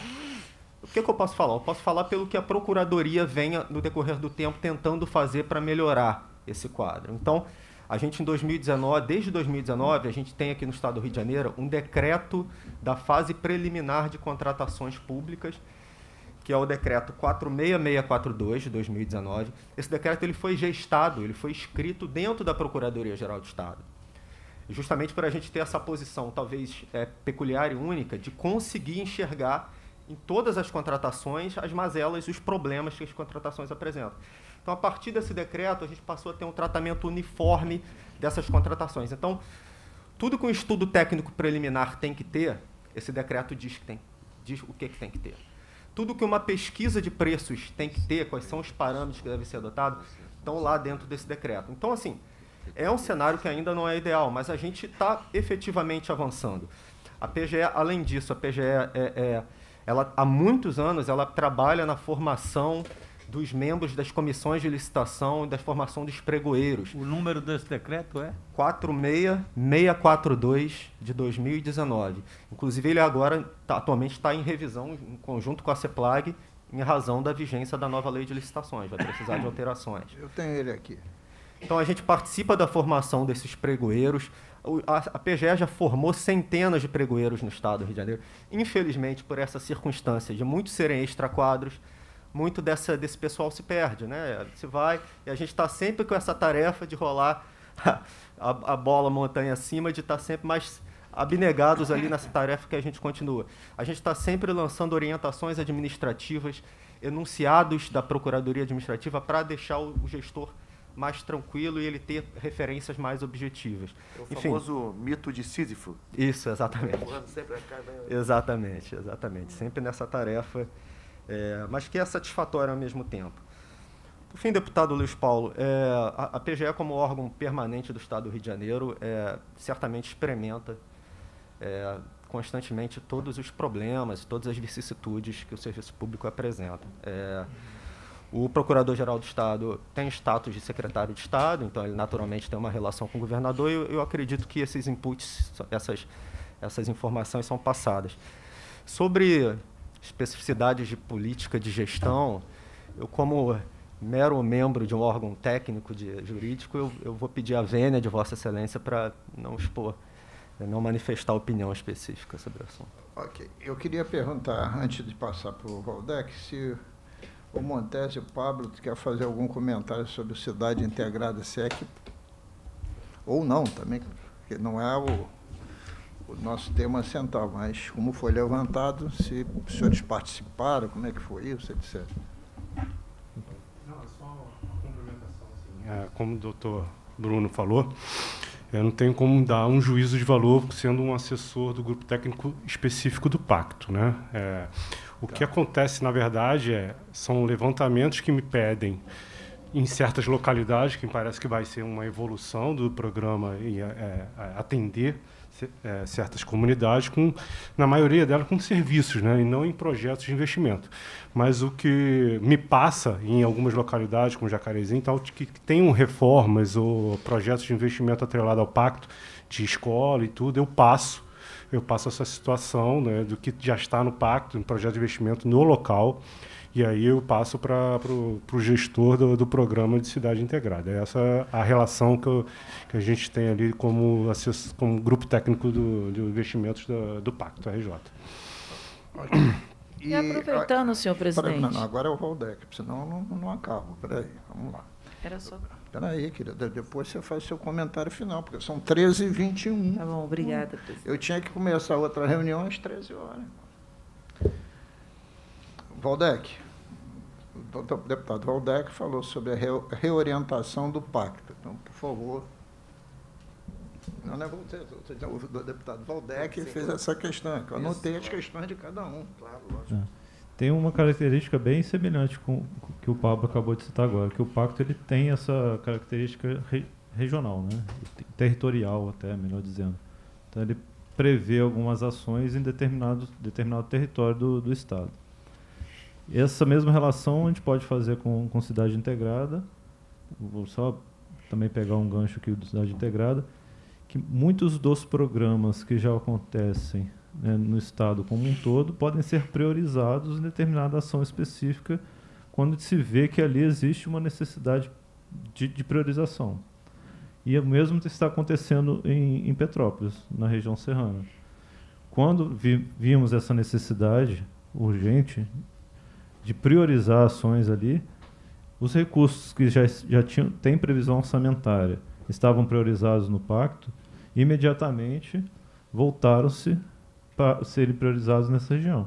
Também envolve muito esses fundos que já foram citados. Ontem, como o secretário já falou, a gente fez reuniões com os conselhos, em razão da necessidade de emprego na, na região de Petrópolis, e já, já tendo anteriormente alocado recursos nesses fundos, a gente pôde informar as secretarias que vão atuar na região, olha, você já tem recurso nessa ação orçamentária, dá uma olhada aí no seu, no, no seu orçamento e já pode imediatamente alocar esses recursos em, áreas prioritárias, porque você já tem em mãos, não há necessidade de, nenhum movimento extra da, do órgão central de orçamento para disponibilizar o orçamento agora, em, em razão da prioridade.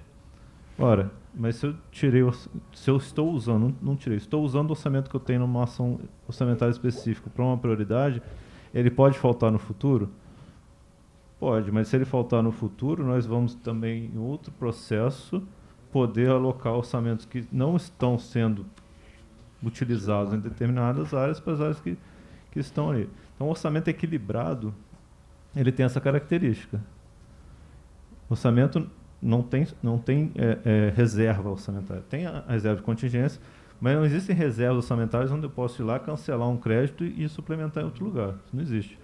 Para eu suplementar em outro lugar, eu tenho que fazer com que alguém abra mão do que ele, do que ele tem. Tem que ser cancelado em algum lugar para suplementar aqui. Então, quando eu tenho uma prioridade dessa, eu vou lá nas ações orçamentárias que são aderentes àquela prioridade, uma, uma, uma catástrofe, um, um, acidente daquela monta, que, que, um incidente que ocorreu em Petrópolis, quais são as ações que podem atender ali imediatamente que já estão disponíveis? Órgãos, vocês têm essa, essa, essa ação que já estão disponíveis. Executa isso emergentemente, tem previsão no pacto, é prioridade, dá para usar inclusive fontes SEDAI se for investimento que for fazer naquela região, como por exemplo, que, a gente, que eu acabei de citar com relação ao FRENF, né, que pode ser utilizado também.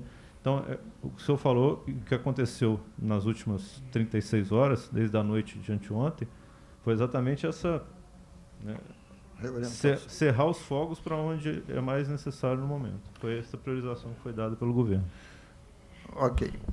A gente vai voltar a esse tema com calma quando chamarmos aqui as secretarias, porque o que o senhor explicou, deputado Valdec, foi a reorientação função da emergência.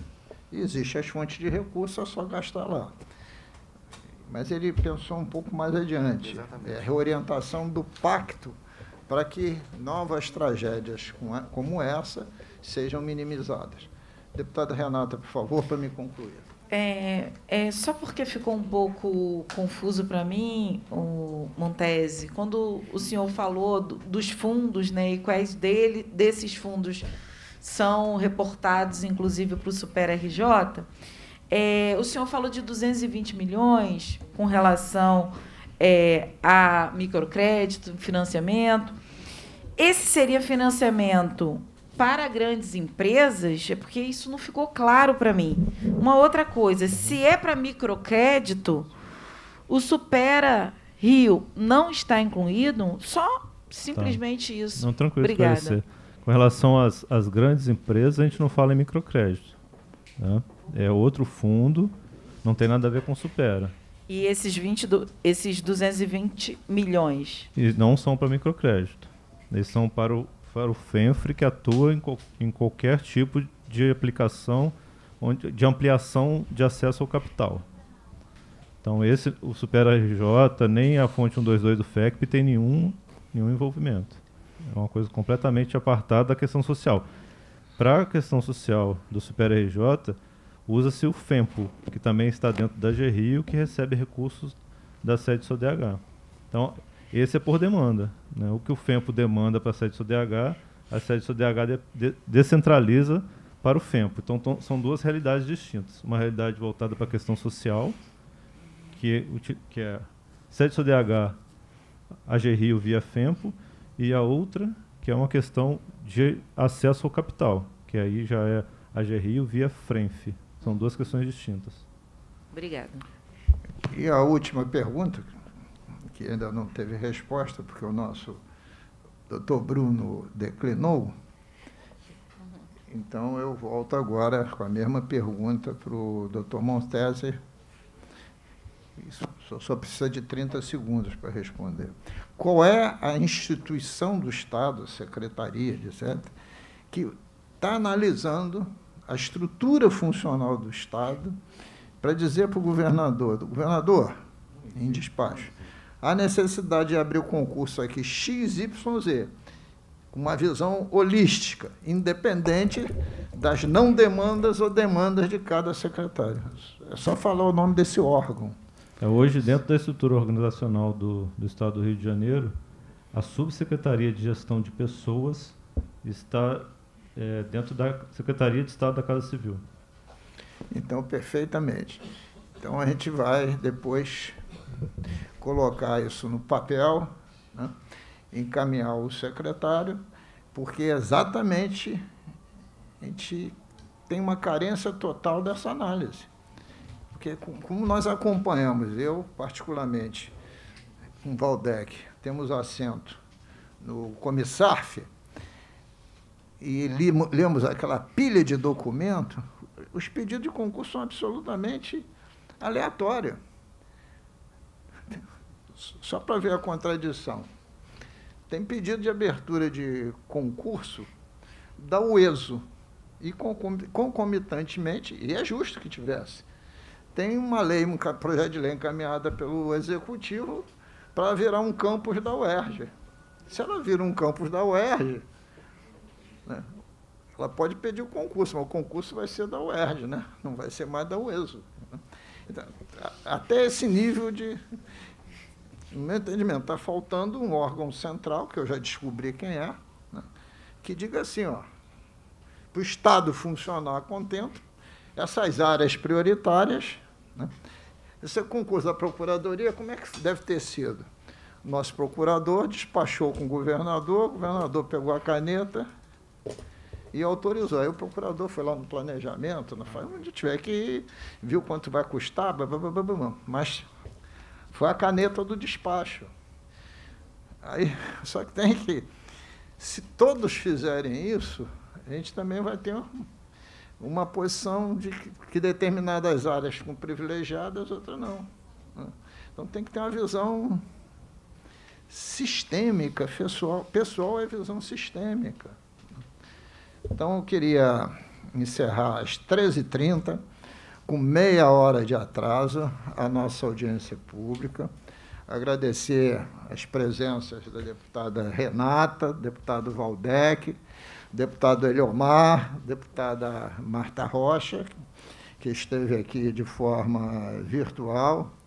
Agradecer o doutor Zamite, que, se, que já se retirou com uma hora e meia de atraso, o doutor Montese, o doutor Pablo, o doutor Bruno, o doutor Jurandir, a doutora Ana Luísa e o doutor Carlos Henrique, as presenças.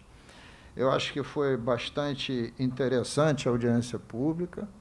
Eu acho que o Estado produziu avanços organizacionais, mas se não superar essa questão da ausência de quadros especializados, ao longo dos três anos, vai meter os pés pelas mãos.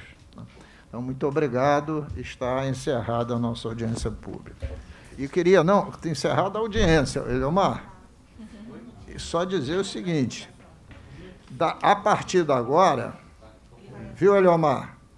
A partir de agora, mais ou menos a cada 15 dias, eu não vou fazer uma reunião para aprovar a convocação. Agora nós vamos chamar os órgãos de ponta.